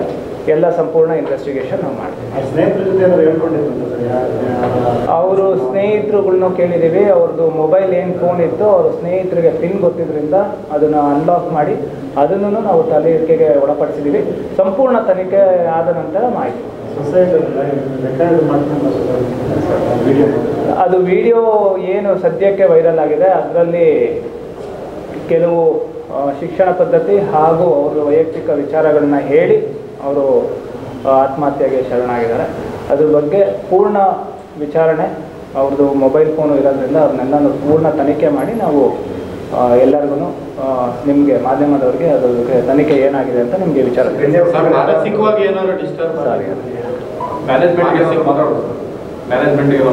ಅವ್ರ ಜೊತೆ ಎಲ್ಲ ಜೊತೆ ಟಚ್ ಇದೀವಿ ಅವ್ರುಗಳಿಗೂ ಇದ್ರ ಬಗ್ಗೆ ಹೆಚ್ಚಿನ ಮಾಹಿತಿ ಗೊತ್ತಿಲ್ಲ ಹುಡುಗನ ನಡವಳಿಕೆ ಹಾಗೂ ಅವರ ಸ್ನೇಹಿತರ ಜೊತೆ ಹೇಗಿದ್ರು ಯುವಜನರಿಗೆ ಉದ್ಯೋಗವನ್ನ ಕಲ್ಪಿಸಿ ಹಾಗೂ ಸರ್ಕಾರಿ ಮತ್ತು ಸಾರ್ವಜನಿಕ ವಲಯಗಳಲ್ಲಿನ ಉದ್ಯೋಗಗಳನ್ನು ಭರ್ತಿ ಮಾಡುವಂತೆ ಆಗ್ರಹಿಸಿ ಅಖಿಲ ಭಾರತ ಯುವಜನ ಫೆಡರೇಷನ್ ನೇತೃತ್ವದಲ್ಲಿ ಪ್ರತಿಭಟನೆ ನಡೆಸಿ ಜಿಲ್ಲಾಡಳಿತಕ್ಕೆ ಮನವಿ ಸಲ್ಲಿಸಲಾಯಿತು ಹಾಸನ ನಗರದ ಹೇಮಾವತಿ ಪ್ರತಿಮೆ ಬಳಿಯಿಂದ ಹೊರಟ ಪ್ರತಿಭಟನಾ ಮೆರವಣಿಗೆಯು ಎನ್ಆರ್ ವೃತ್ತದ ಮೂಲಕ ಜಿಲ್ಲಾಧಿಕಾರಿ ಕಚೇರಿಗೆ ಬಂದ ಅವರು ದೇಶದಲ್ಲಿ ಇಂದು ನಿರುದ್ಯೋಗ ಸಮಸ್ಯೆ ತಾಂಡವವಾಡುತ್ತಿದ್ದು ಉದ್ಯೋಗವಿಲ್ಲದೆ ಯುವ ಜನರ ಬದುಕು ನಾಶವಾಗುತ್ತಿದೆ ಸರ್ಕಾರ ರಚನೆಯ ಪೂರ್ವ ತಾವು ದೇಶದ ಯುವ ಜನರಿಗೆ ವಾರ್ಷಿಕ ಎರಡು ಕೋಟಿ ಉದ್ಯೋಗ ಸೃಷ್ಟಿಸುವ ಭರವಸೆ ನೀಡಿ ಈಗ ಹೊಸ ಉದ್ಯೋಗಗಳ ಸೃಷ್ಟಿ ಇರಲಿ ಇರುವ ಉದ್ಯೋಗಗಳೇ ನಾಶವಾಗುತ್ತಿವೆ ದೇಶದಲ್ಲಿ ನಿರುದ್ಯೋಗದ ಪ್ರಮಾಣ ಏರಿಕೆಯಾಗುತ್ತಿದೆ ಇಷ್ಟಾದರೂ ಸರ್ಕಾರಗಳು ಯುವ ಜನರ ರಕ್ಷಣೆಗೆ ಮುಂದಾಗದಿರುವುದನ್ನು ಪ್ರತಿಭಟನಾಕಾರರು ಖಂಡಿಸಿದರು ದೇಶದ ಸರ್ಕಾರಿ ಮತ್ತು ಸಾರ್ವಜನಿಕ ವಲಯಗಳಲ್ಲಿ ಅನೇಕ ವರ್ಷಗಳಿಂದ ಉದ್ಯೋಗಗಳು ಖಾಲಿ ಇದ್ದು ಈ ಖಾಲಿ ಇರುವ ಉದ್ಯೋಗಗಳನ್ನು ಭರ್ತಿ ಮಾಡದಿರುವ ಸರ್ಕಾರದ ಕ್ರಮ ಸರಿಯಿಲ್ಲ ನಿರುದ್ಯೋಗದಿಂದ ಯುವಜನರು ಕಂಗಾಲಾಗಿದ್ದಾರೆ ಸರ್ಕಾರವು ಕೂಡಲೇ ಸರ್ಕಾರಿ ಹಾಗೂ ಸಾರ್ವಜನಿಕ ವಲಯಗಳಲ್ಲಿನ ಖಾಲಿ ಇರುವ ಉದ್ಯೋಗಗಳನ್ನು ಕೂಡಲೇ ತುಂಬಲು ಮುಂದಾಗಬೇಕು ದೇಶದ ಯುವ ಜನರಿಗೆ ಉದ್ಯೋಗದ ಭದ್ರತೆಯನ್ನು ಒದಗಿಸುವ ನಿಟ್ಟಿನಲ್ಲಿ ಯುವಜನರ ಆದರ್ಶವಾಗಿರುವ ಕ್ರಾಂತಿಕಾರಿ ಭಗತ್ ಸಿಂಗ್ ಅವರ ಹೆಸರಿನಲ್ಲಿ ಎಂಪ್ಲಾಯ್ಮೆಂಟ್ ಗ್ಯಾರಂಟಿಯ ಮೂಲಕ ಯುವ ಜನರಿಗೆ ಉದ್ಯೋಗ ಭದ್ರತೆ ಒದಗಿಸಬೇಕು ಎಂದರು ಖಾಸಗೀಕರಣಗೊಳಿಸುವುದನ್ನು ಕೂಡಲೇ ಕೈಬಿಡಬೇಕು ಪೆಟ್ರೋಲ್ ಡೀಸೆಲ್ ಅಡುಗೆ ಅನಿಲ ಹಾಗೂ ಗೃಹ ಬಳಕೆಯ ಅಗತ್ಯ ವಸ್ತುಗಳ ಬೆಲೆ ಏರಿಕೆಯನ್ನ ನಿಯಂತ್ರಣ ಮಾಡಬೇಕೆಂದು ಒತ್ತಾಯಿಸಿದರು ಇವತ್ತಿನ ಮಾಧ್ಯಮಗಳು ಪ್ರಮುಖವಾಗಿ ಮಾಧ್ಯಮಗಳು ಇವತ್ತು ದೇಶಕ್ಕೆ ದೇಶನ ಹಾಳು ಮಾಡ್ತಾ ಇದೆ ಇವತ್ತು ಜನಗಳ ಮಾಧ್ಯಮ ಜನಗಳ ಗಮನನ ಬೇರೆ ಕಡೆ ಸೆಳೆ ಸೆಳೀತಾ ಇದೆ ಸೊ ನಿಜವಾಗ್ಲೂ ಇವತ್ತು ಬಡ ಜನತೆ ಮತ್ತು ನಿರುದ್ಯೋಗ ಯುವಜನತೆ ಇವತ್ತು ಬೇಸ ಬೇಸತ್ತು ಹೋಗಿದ್ದಾರೆ ಅದರಲ್ಲೂ ಡೀಸೆಲ್ಲು ಪೆಟ್ರೋಲು ಗ್ಯಾಸ್ ಈ ಥರ ಬೆಲೆ ಏರಿಕೆ ಆಗ್ತಾನೇ ಇದೆ ದಿನಕ್ಕೆ ಒಂದು ರೂಪಾಯಿ ಅಂತೆ ಸರಾಸರಿ ತಗೊಂಡು ದಿನಕ್ಕೆ ಒಂದು ರೂಪಾಯಿ ಅಂತ ಏರ್ತಾನೆ ಇದೆ ಅದಕ್ಕೆ ಯಾವುದೇ ಕಾರಣ ಅದಕ್ಕೆ ಅದನ್ನು ಇಳಿಸೋಕೆ ಬೆಲೆ ಬೆಲೆ ಏರಿಕೆ ನೀತಿನ ಕಡಿವಾಣ ಹಾಕೋದ್ರಲ್ಲಿ ವಿಫಲ ಆಗ್ತಿದೆ ಈ ಮೋದಿ ಸರ್ಕಾರಕ್ಕೆ ಸೊ ಅದರಿಂದ ಇವತ್ತು ಇವತ್ತು ಇಡೀ ದೇಶದ ಯುವಜನತೆ ಪರವಾಗಿ ಆಲ್ ಇಂಡಿಯಾ ಯೂತ್ ಫೆಡರೇಷನ್ನು ಆಗ್ರಹಿಸ್ತಾ ಇದೆ ಕೂಡಲೇ ಬೆಲೆ ಏರಿಕೆನ ನೀತಿನ ಕೈಬಿಟ್ಟು ನಿರುದ್ಯೋಗ ಯುವಜನತೆಗೆ ಕೆಲಸ ಕೊಡಿ ಇಲ್ಲವೇ ನಿರುದ್ಯೋಗ ಭತ್ಯೆನ ಕೊಡಬೇಕು ಅಂತೇಳಿ all India youth federation Hassan ಜಿಲ್ಲಾ ಸಮಿತಿ ಇವತ್ತು ನರೇಂದ್ರ ಮೋದಿಗಳಿಗೆ ಇವತ್ತು ನರೇಂದ್ರ ಮೋದಿ ಅವರಿಗೆ ಹಾಸನ ಜಿಲ್ಲಾಧಿಕಾರಿಗಳ ಮುಖಾಂತರ ಮನವಿ ಪ್ರತಿಭಟನೆಯಲ್ಲಿ ಅಖಿಲ ಭಾರತ ಯುವಜನ ಫೆಡರೇಷನ್ ಜಿಲ್ಲಾ ಕಾರ್ಯದರ್ಶಿ ಎಲ್ಬಿ ಗಿರೀಶ್ ಹಾಗೂ ಮುಂತಾದವರು ಪಾಲ್ಗೊಂಡಿದ್ದರು ಪುಟ್ಟ ಬ್ರೇಕ್ ಕಷ್ಟಪಟ್ಟು ಹಣ ಕೂಡಿಸಿ ಒಡವೆ ಮಾಡಿಸಿರ್ತೀರಿ ಮಕ್ಕಳ ಉನ್ನತಾಭ್ಯಾಸಕ್ಕೋ ಅವರ ಮದುವೆಗೋ ಇಲ್ಲ ಯಾವ್ದಾದ್ರೂ ಆರೋಗ್ಯ ಸಮಸ್ಯೆಗೋ ಹಣ ಬೇಕಾದಾಗ ಆ ಚಿನ್ನವನ್ನ ಮಾರೋಕೆ ಅಂತ ಹೋದ್ರೆ ಬೇಕಾ ಬಿಟ್ಟಿ ಬೆಲೆ ಕೇಳ್ತಾರೆ ಅನ್ನೋ ಚಿಂತೆಲಿದ್ದೀರಾ ಇನ್ನು ಮೇಲೆ ಆ ಚಿಂತೆ ಮಾಡೋ ಪ್ರಮೇಯನೇ ಇಲ್ಲ ಹಿಂದೆ ಹಿಂದೂಸ್ತಾನ್ ಗೋಲ್ಡ್ ಕಂಪನಿಗೆ ಬನ್ನಿ ನಿಮ್ಮಲ್ಲಿರೋ ಹಳೆ ಚಿನ್ನ ಆಗ್ಲಿ ಅಥವಾ ನೀವ್ ಅಡ ಇಟ್ಟಿರೋ ಚಿನ್ನ ಆಗ್ಲಿ ತಕ್ಷಣ ಬಿಡಿಸಿ ಇಂದಿನ ಆನ್ಲೈನ್ ಬೆಲೆಗೆ ಕೊಂಡುಕೊಂಡು ಕೂಡ್ಲೆ ಬಾಕಿ ಹಣವನ್ನ ನಿಮ್ಮ ಕೈಗಿಡ್ತಾರೆ ನಿಮ್ಮ ಕನಸಿನ ಸಾಕಾರಕ್ಕೆ ಜೊತೆಯಾಗ್ತಾರೆ ಹಿಂದೂಸ್ತಾನ್ ಗೋಲ್ಡ್ ಕಂಪನಿ ಇದು ನಿಮ್ಮ company Hindustan gold company it's your company ಹಾಸನದ ಹೆಸರಾಂತ ಹೋಂಡಾ ದ್ವಿಚಕ್ರ ವಾಹನಗಳ ಏಕೈಕ showroom Hoysala Honda Hoysala Honda Prithvi theatre ಎದುರು ಬಿಎಂ ರಸ್ತೆ ಹಾಸನ ನಮ್ಮಲ್ಲಿ Honda Activa six G Dio Activa one twenty five ಕ್ರೇಜಿಯಾ ಸ್ಕೂಟರ್ಗಳು ಮತ್ತು CB Shine one twenty five S P one twenty five Unicorn X blade Livo ಮತ್ತು ಸಿಡಿ ಒನ್ ಟೆನ್ ಮೋಟಾರ್ ಸೈಕಲ್ಗಳು ದೊರೆಯುತ್ತವೆ ಮಂಗಳ ಆಸ್ಪತ್ರೆ ಮಂಗಳ ಆಸ್ಪತ್ರೆ ಹಾಸನದ ಪ್ರತಿಷ್ಠಿತ ಆಸ್ಪತ್ರೆಗಳಲ್ಲಿ ಒಂದಾದ ಮಂಗಳ ಆಸ್ಪತ್ರೆಯು ಕರ್ನಾಟಕ ರಾಜ್ಯದಲ್ಲಿ ಹದಿನೈದನೇ ಸ್ಥಾನ ಪಡೆದು ಹಾಸನದ ಹಿರಿಮೆಯನ್ನು ಹೆಚ್ಚಿಸಿದ ಮಂಗಳ ಆಸ್ಪತ್ರೆಯ ವ್ಯವಸ್ಥಾಪಕರಾದ ಡಾಕ್ಟರ್ ಅಶೋಕ್ ಗೌಡರ ಸಾರಥ್ಯದಲ್ಲಿ ಇದೀಗ ಮಲ್ಟಿ ಸ್ಪೆಷಾಲಿಟಿ ಆಸ್ಪತ್ರೆಯಾಗಿ ಕಾರ್ಯನಿರ್ವಹಿಸುತ್ತಿದ್ದು ಹಾಸನ ಜಿಲ್ಲೆಯ ಏಕೈಕ ಎನ್ಎಬಿಎಚ್ ಆಸ್ಪತ್ರೆಯಾಗಿದೆ ಸಾಮಾನ್ಯರಿಗೂ ಉತ್ತಮ ಸೇವೆ ಇಪ್ಪತ್ನಾಲ್ಕು ಗಂಟೆಗಳ ಚಿಕಿತ್ಸಾ ಸೌಲಭ್ಯವಿದೆ ಮಾಹಿತಿಗಾಗಿ ಸಂಪರ್ಕಿಸಿ ಮಂಗಳ ಆಸ್ಪತ್ರೆ ರಾಜೀವ್ ತಾಂತ್ರಿಕ ಮಹಾವಿದ್ಯಾಲಯ ಇಂಜಿನಿಯರಿಂಗ್ ಓದ ಬಯಸುವ ವಿದ್ಯಾರ್ಥಿಗಳಿಗೆ ಸುವರ್ಣಾವಕಾಶ ಅಚ್ಚ ಹಸುರಾದ ವಿಸ್ತಾರವಾದ ಕ್ಯಾಂಪಸ್ನಿಂದ ಕಂಗೊಳಿಸುತ್ತಿರುವ ರಾಜೀವ್ ತಾಂತ್ರಿಕ ಮಹಾವಿದ್ಯಾಲಯವು ಸುಮಾರು ಹನ್ನೆರಡು ವರ್ಷಗಳಿಂದಲೂ ಅವಿರತವಾಗಿ ಸಮಾಜಕ್ಕೆ ಶಿಕ್ಷಣ ಕ್ಷೇತ್ರದಲ್ಲಿ ತನ್ನ ಅಭೂತಪೂರ್ವ ಕೊಡುಗೆಯನ್ನ ನೀಡುತ್ತಾ ಬಂದಿದೆ ಸ್ಥಾಪಕ ಅಧ್ಯಕ್ಷರಾದ ಡಾಕ್ಟರ್ ವಿ ರಾಜೀವ್ ಅವರ ಮುಂದಾಳತ್ವದಲ್ಲಿ ಮೊದಲುಗೊಂಡು ವಿದ್ಯಾಲಯವು ವಿಟಿಯು ಮತ್ತು ಎಐಸಿಟಿಯ ಎಲ್ಲ ಮಾನ್ಯತೆಯನ್ನ ಒಳಗೊಂಡಿದೆ ಇಂದೇ ಸಂಪರ್ಕಿಸಿ ರಾಜೀವ್ ತಾಂತ್ರಿಕ ಮಹಾವಿದ್ಯಾಲಯ ರಾಜೀವ್ ಪಾಲಿಟೆಕ್ನಿಕ್ ಹಾಸನ ಹಾಸನದ ಪ್ರಖ್ಯಾತ ಮಕ್ಕಳ ವೈದ್ಯರಾದ ಡಾಕ್ಟರ್ ವಿ ರಾಜೀವ್ ಅವರು ಸ್ಥಾಪಿಸಿ ಡಾಕ್ಟರ್ ರಚನಾ ರಾಜೀವ್ ಅವರು ಅಧ್ಯಕ್ಷರಾಗಿ ಮುನ್ನಡೆಸುತ್ತಿರುವ ರಾಜೀವ್ ಪಾಲಿಟೆಕ್ನಿಕ್ ರಾಜೀವ್ ನಲ್ಲಿ ಎರಡ್ ಸಾವಿರದ ಇಪ್ಪತ್ತೊಂದು ಇಪ್ಪತ್ತೆರಡರ ಸಾಲಿಗೆ ಪ್ರವೇಶಾತಿ ಪ್ರಾರಂಭವಾಗಿದೆ ಹೆಚ್ಚಿನ ಮಾಹಿತಿಗಾಗಿ ಸಂಪರ್ಕಿಸಿ nine double four eight seven two two three seven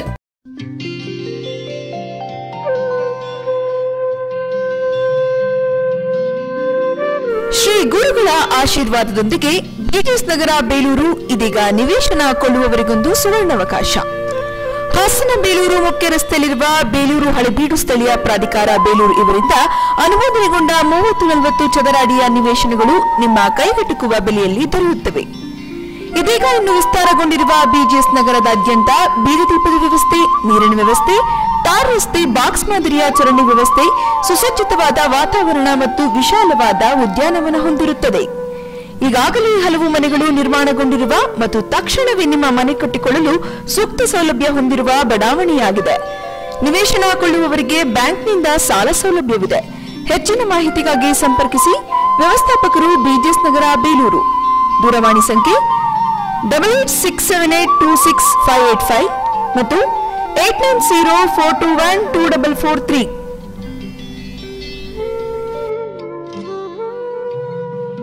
ಬಾ ಮಗಳೇ ಬರ್ತಿದ್ದೀನಿ ಅಮ್ಮ ಸಂಪ್ರದಾಯವನ್ನು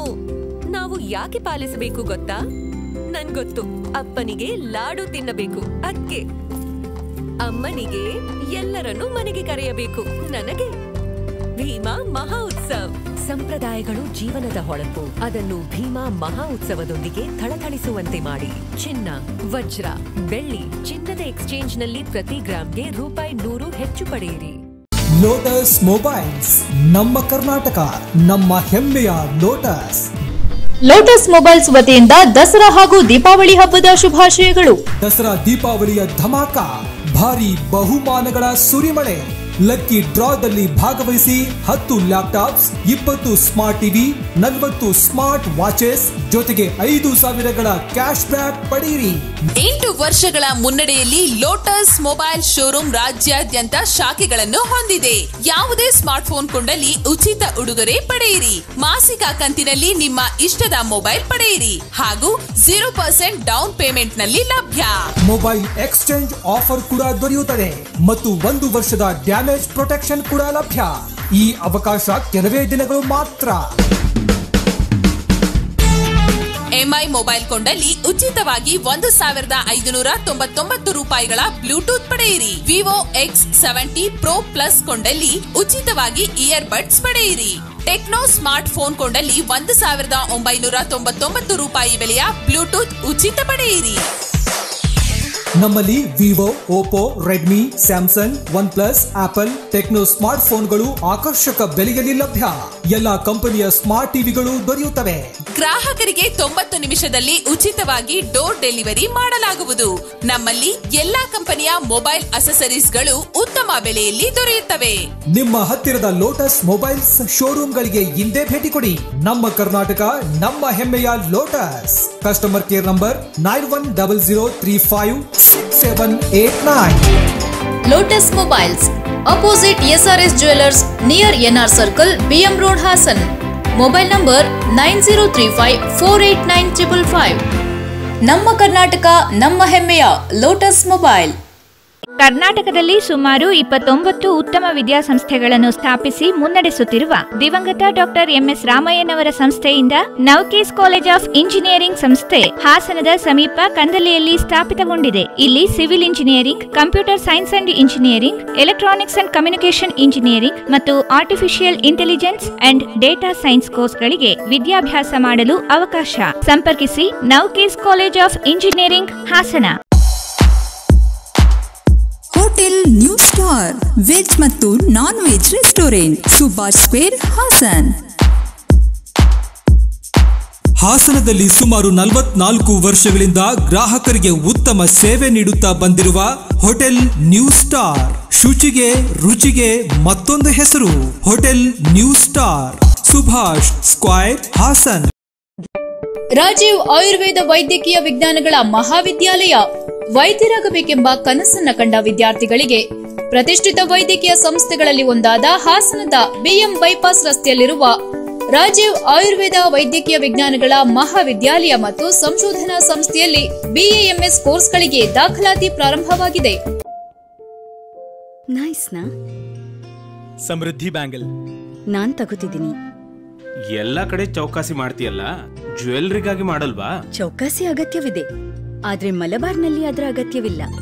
ಅವರು ಹೇಳುದು ನಿಜ ಇದು ಮಲಬಾರ್ನ fair price promise fair making charges ನಿಮ್ಗೆ ಹಾಗೂ ನನ್ಗೆ ಇದರಿಂದ ನಮ್ಮೆಲ್ಲರಿಗೂ ಸಿಗುತ್ತೆ total value for money guaranteed ಎಲ್ಲ ದಿನ ಹಾಗೂ ಎಲ್ಲ ಕಡೆ exactly Malabar fair price promise fair making charges ಎಲ್ರಿಗೂ ಎಲ್ಲ ದಿನವೂ ಹಾಗೂ ಎಲ್ಲ ಕಡೆಯೂ promise is a promise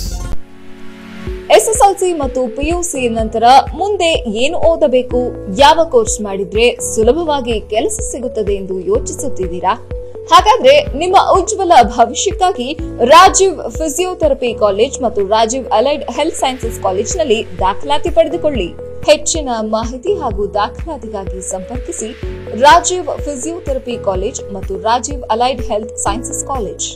Rajiv ಆಸ್ಪತ್ರೆ ಹಿಂಭಾಗ ಕೆಆರ್ಪುರಂ ಹಾಸನ ಬ್ರೇಕ್ನ ನಂತರ ಹೆಚ್ಸಿಯ ನ್ಯೂಸ್ಗೆ ಸ್ವಾಗತ ಚನ್ನರಾಯಪಟ್ಟಣ ತಾಲೂಕಿನಲ್ಲಿ ಜೈವಿಕ ಗೊಬ್ಬರಗಳ ಬಳಕೆಯಿಂದ ಭೂಮಿಯ ಫಲವತ್ತತೆ ಹೆಚ್ಚಾಗುವುದರ ಜೊತೆಗೆ ಜಮೀನಿನಲ್ಲಿ ಉತ್ತಮ ಬೆಳೆಗಳ ಇಳುವರಿ ಬರುತ್ತದೆ ಎಂದು ಹಾಸನ ಧರ್ಮಸ್ಥಳ ಆಯುರ್ವೇದ ಆಸ್ಪತ್ರೆಯ ಡಾಕ್ಟರ್ ಗುರುಬಸವರಾಜ್ ತಿಳಿಸಿದರು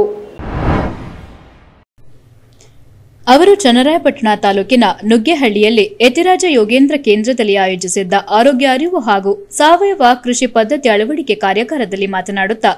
ಸಾವಯವ ಕೃಷಿ ಪದ್ಧತಿಯಲ್ಲಿ ಬೆಳೆದ ಆಹಾರ ಪದಾರ್ಥಗಳಲ್ಲಿ ಆಹಾರ ರುಚಿಕರವಾಗಿರುತ್ತದೆ ದೇಹಕ್ಕೆ ಶಕ್ತಿ ಬರುತ್ತದೆ ಇದರಿಂದ ಮನುಷ್ಯನ ಆರೋಗ್ಯ ವೃದ್ಧಿಸುತ್ತದೆ ಹಾಗೂ ಹೆಚ್ಚು ಕಾಲ ಜೀವಿಸಬಹುದಾಗಿದೆ ಮಿತಿಯಾದ ಆಹಾರ ಬಳಕೆಯಲ್ಲಿ ರಾತ್ರಿ ಎಂಟು ಗಂಟೆಯಲ್ಲಿ ಮುಂಚಿತವಾಗಿ ಊಟ ಮುಗಿಸಬೇಕು ಗಂಟೆಗೊಮ್ಮೆ ನೀರು ಕುಡಿಯುವುದರಿಂದ ಮನುಷ್ಯನ ದೇಹದಲ್ಲಿ ಲವಲವಿಕೆ ಇರುತ್ತದೆ ಕೃಷಿ ಕೆಲಸಗಳನ್ನು ಮಾಡಲು ಶಕ್ತಿ ಬರುತ್ತದೆ ಇತ್ತೀಚೆಗೆ ಸಾಮಾಜಿಕ ಜಾಲತಾಣಗಳಲ್ಲಿ ಕಾಲಹರಣ ಹೆಚ್ಚಾಗಿ ಸಮಯ ಹಾಳಾಗುತ್ತಿದೆ ಇದು ಒಳ್ಳೆಯ ಬೆಳವಣಿಗೆಯಲ್ಲ ಎಂದರು ಆಹಾರವನ್ನು ಸೇವಿಸೋದ್ರಿಂದ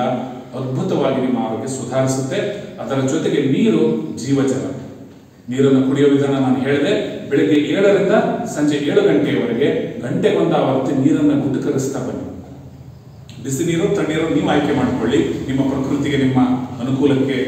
ಅನುಸಾರವಾಗಿ ನೀವು ಆವೃತ್ತಿ ಬೆಳಗ್ಗೆ ಏಳರಿಂದ ಸಂಜೆ ಏಳು ನೀರು ಕುಡಿಯೋದು ಸರಿಯಾದ ಸಮಯದಲ್ಲಿ ಏಕಾಗ್ರತೆಯಿಂದ ಆಹಾರವನ್ನು ರುಚಿಸುವಂಥದ್ದು ಮತ್ತು ನಿದ್ರೆಯನ್ನು ಸಕಾಲಕ್ಕೆ ಮಾಡುವಂಥದ್ದು ಮಾಡಿದಾಗ ಅತ್ಯದ್ಭುತವಾಗಿ ಬಹಳ ಸಮಯ ಬೇಕಾಗಿಲ್ಲ ಮೂರೇ ಮೂರು ವಾರಗಳಲ್ಲಿ ನಿಮ್ಮ ಆರೋಗ್ಯ ತುಂಬ ಉತ್ತಮ ಮಟ್ಟಕ್ಕೆ ಹೋಗೋದನ್ನು ನೀವು ಕಾಣ್ತೀರಿ ಹಾಗೆ ನಿಮಗೆ ಆಗಲಿ ಅಂತ ಹೇಳಿ ನಾನು ಖಂಡಿತ ಆಯುರ್ವೇದ ವೈದ್ಯನಾಗಿ ನಿಮ್ಮೆಲ್ಲರ ಸಮ್ಮಿತ್ರನಾಗಿ ನಾನು ಬಯಸ್ತೇನೆ ಹಾಗಾಗಿ ಆಯುರ್ವೇದದ ಈ ಮೂರು ಇವತ್ತು ಚರ್ಚಿತವಾದಂತಹ ಇಲ್ಲಿ ನಾವೇನು ಪರಸ್ಪರ ಮಾತನಾಡಿಕೊಂಡಂತಹ ಈ ಮೂರು ವಿಷಯಗಳನ್ನು ನೀವು ತ್ರಿಸೂತ್ರಗಳಂತೆ ತ್ರಿಶೂಲಗಳಂತೆ ನಿಮ್ಮೆಲ್ಲ ಆರೋಗ್ಯದ ಸಮಸ್ಯೆಗಳಿಗೆ ಇದು ಕೆಲಸ ಮಾಡುತ್ತೆ ಅನ್ನುವಂತಹ ಆತ್ಮವಿಶ್ವಾಸ ಓರ್ವ ವೈದ್ಯನಾದ ಒಂದು ಆಯುರ್ವೇದ ಜಿಜ್ಞಾಸವಾದ ಮನಗೂ ಕೂಡ ಇದೆ ಅಂತ ಹೇಳ್ತಾ ನಾವು ಆರೋಗ್ಯದ ವಿಷಯದಿಂದ ಸ್ವಲ್ಪ ಮುಂದುವರೆದು ಇನ್ನೊಂದು ವಿಷಯಕ್ಕೆ ಹೋಗೋಣ ಇವತ್ತು ಪೂರ್ವಜರ ಏಕಾದಶಿ ಅಂತ ಹೇಳಿ ಒಂದು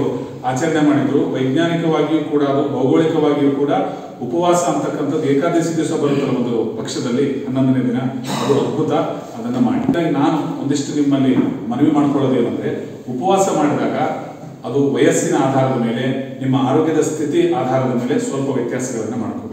ಹಾಗಾಗಿ ನಾನು ಹೇಳೋದಂದ್ರೆ ನೀರಿನ ಸೇವನೆಯನ್ನು ಕನಿಷ್ಠ ಒಂದು ಎರಡು ಮೂರು ಬಾರಿ ಮಾಡಿ ಉಪವಾಸದ ದಿನ ನಿರಾಹಾರವನ್ನು ಸಂಪೂರ್ಣ ಮಾಡಿದಾಗ ಕೆಲವೊಂದು ಆರೋಗ್ಯದ ಸಮಸ್ಯೆಗಳಿದ್ದಾಗ ನಮಗೆ ಆ ಆರೋಗ್ಯದ ಸಮಸ್ಯೆಗಳು ಉಲ್ಬಣಗೊಳ್ಳುವಂತಹ ಸಾಧ್ಯತೆ ಇರುತ್ತೆ ಉಪವಾಸವನ್ನು ಕೈಗೊಳ್ಳುವ ಮುನ್ನ ಒಬ್ಬ ಆಯುರ್ವೇದ ಅಥವಾ ಒಬ್ಬ ನಿಸರ್ಗೋಪಚಾರ ಚಿಕಿತ್ಸೆಯ ತಜ್ಞರನ್ನ ಭೇಟಿಯಾಗಿ ಅವರಿಂದ ಒಂದು ಸಲಹೆಯನ್ನು ಪಡೆದು ನೀವು ಉಪವಾಸವನ್ನು ಅಳವಡಿಸ್ಕೊಳ್ಬೋದು ಉಪವಾಸದಲ್ಲಿ ಸುಮಾರು ಉಪವಾಸಗಳಿವೆ intermediate fasting short term fasting long term fasting ಅಂತ ಎಲ್ಲ ಇದ್ದಾವೆ ಅವರು ನಿಮ್ಮ ಆರೋಗ್ಯವನ್ನು ತಪಾಸಣೆ ಮಾಡಿ ಅದಕ್ಕೆ ಸೂಕ್ತವಾದಂತಹ ಒಂದು ಉಪವಾಸದ ಕ್ರಮವನ್ನು ನೀವು ಅನುಸರಿಸೋದಕ್ಕೆ ಅವರು ಸಲಹೆ ಕಾರ್ಯಕ್ರಮದಲ್ಲಿ ನಿವೃತ್ತ ಕೃಷಿ ಅಧಿಕಾರಿ ಕೃಷ್ಣ ಪ್ರಸಾದ್ ಹಾಸನ ರಂಗಸಿರಿ ಕಲಾ ತಂಡದ ಕಾರ್ಯದರ್ಶಿ ಪಿಶಾ ಡ್ರಾಕ್ ಸಾವಯವ ಕೃಷಿಕ ಸಂತೇಶವರ ಬಸವರಾಜ್ ತಾಲೂಕು ಪತ್ರಕರ್ತರ ಸಂಘದ ಖಜಾಂಚಿ ಬಿಸಿ ಚನ್ನೇಗೌಡ ಶಿಕ್ಷಕ ಜಗನ್ನಾಥ್ ಉದ್ಯಮಿ ನವೀನ್ ರುದ್ರಸ್ವಾಮಿ ರೇಣುಕಪ್ರಸಾದ್ ಹಾಗೂ ಮತ್ತಿತರರು ಹಾಜರಿದ್ದರು ಈಗ ಸಂಕ್ಷಿಪ್ತ ಸುದ್ದಿಗಳು ಗ್ಯಾಸ್ ಸೋರಿಕೆಯಿಂದ ಬೆಂಕಿಗೆ ಆಹುತಿಯಾದ ಮನೆಯ ನಿವಾಸಿ ಕೂಲಿ ಕಾರ್ಮಿಕರಿಗೆ ಪರಿಹಾರ ಕೊಡುವಂತೆ ಹಾಗೂ ಇಪ್ಪತ್ತೆರಡನೇ ವಾರ್ಡಿನ ಟಿಪ್ಪು ನಗರದಲ್ಲಿ ಒಳಚರಂಡಿ ರಾಜಕಾಲುವೆಯ ವ್ಯವಸ್ಥೆಯನ್ನು ಸರಿಪಡಿಸುವಂತೆ ಆಗ್ರಹಿಸಿ ಅಂತಾರಾಷ್ಟ್ರೀಯ ಮಾನವ ಹಕ್ಕುಗಳ ಸಮಿತಿ ಜಿಲ್ಲಾಧ್ಯಕ್ಷ ಸೈಯದ್ ಏಜಾಜ್ ನೇತೃತ್ವದಲ್ಲಿ ನಗರಸಭೆ ಆಯುಕ್ತ ಕೃಷ್ಣಮೂರ್ತಿ ಮತ್ತು ಅಧ್ಯಕ್ಷ ಮೋಹನ್ ಅವರಿಗೆ ಮನವಿ ಸಲ್ಲಿಸಿದರು ಹಾಸನ ನಗರದ ಎಂಹತೋಡಿ ರಸ್ತೆ ಅಂಬೇಡ್ಕರ್ ನಗರದಲ್ಲಿ ವಾಸವಾಗಿರುವ ಕೂಲಿ ಕಾರ್ಮಿಕ ಮನ್ಸೂರ್ ಎಂಬುವವರ ಮನೆಯಲ್ಲಿ ಎರಡು ದಿನಗಳ ಹಿಂದೆ ಗ್ಯಾಸ್ ಪೈಪ್ನಲ್ಲಿ ಲೀಕ್ ಆಗಿ ಬೆಂಕಿ ಕಾಣಿಸಿಕೊಂಡು ಮನೆಯಲ್ಲಿದ್ದ ವಸ್ತುಗಳೆಲ್ಲ ಸುಟ್ಟು ಕರಕಲಾಗಿ ಮನೆ ಸುಟ್ಟು ಹೋಗಿರುತ್ತದೆ ಬೆಂಕಿ ಅವಘಡದಿಂದ ಸುಮಾರು ಎರಡು ಲಕ್ಷಕ್ಕೂ ಹೆಚ್ಚು ನಷ್ಟವಾಗಿದ್ದು ಈಗ ಸದರಿಯವರಿಗೆ ಏರಲು ಸೂರಿಲ್ಲ ಕೂಲಿ ಕೆಲಸ ಮಾಡಿಕೊಂಡು ಕುಟುಂಬ ನಡೆಸಬೇಕಾಗಿರುತ್ತದೆ ಅದರಿಂದ ನಗರಸಭೆ ವತಿಯಿಂದ ಬಡ ಕೂಲಿ ಕಾರ್ಮಿಕರಿಗೆ ನಷ್ಟವನ್ನು ಭರಿಸಿಕೊಡಬೇಕೆಂದು ಕೋರಿದರು ಹಾಸನ ನಗರದ ವಾರ್ಡ್ ನಂಬರ್ ಇಪ್ಪತ್ತೆರಡರ ಟಿಪ್ಪು ನಗರದಲ್ಲಿ ಸುಮಾರು ಎರಡು ಸಾವಿರ ಮನೆಗಳಿದ್ದು ಟಿಪ್ಪು ನಗರದ ಒಳಚರಂಡಿ ವ್ಯವಸ್ಥೆಯನ್ನ ಸರಿಪಡಿಸಿಕೊಡಬೇಕೆಂದು ಮನವಿ ಮಾಡಲಾಯಿತು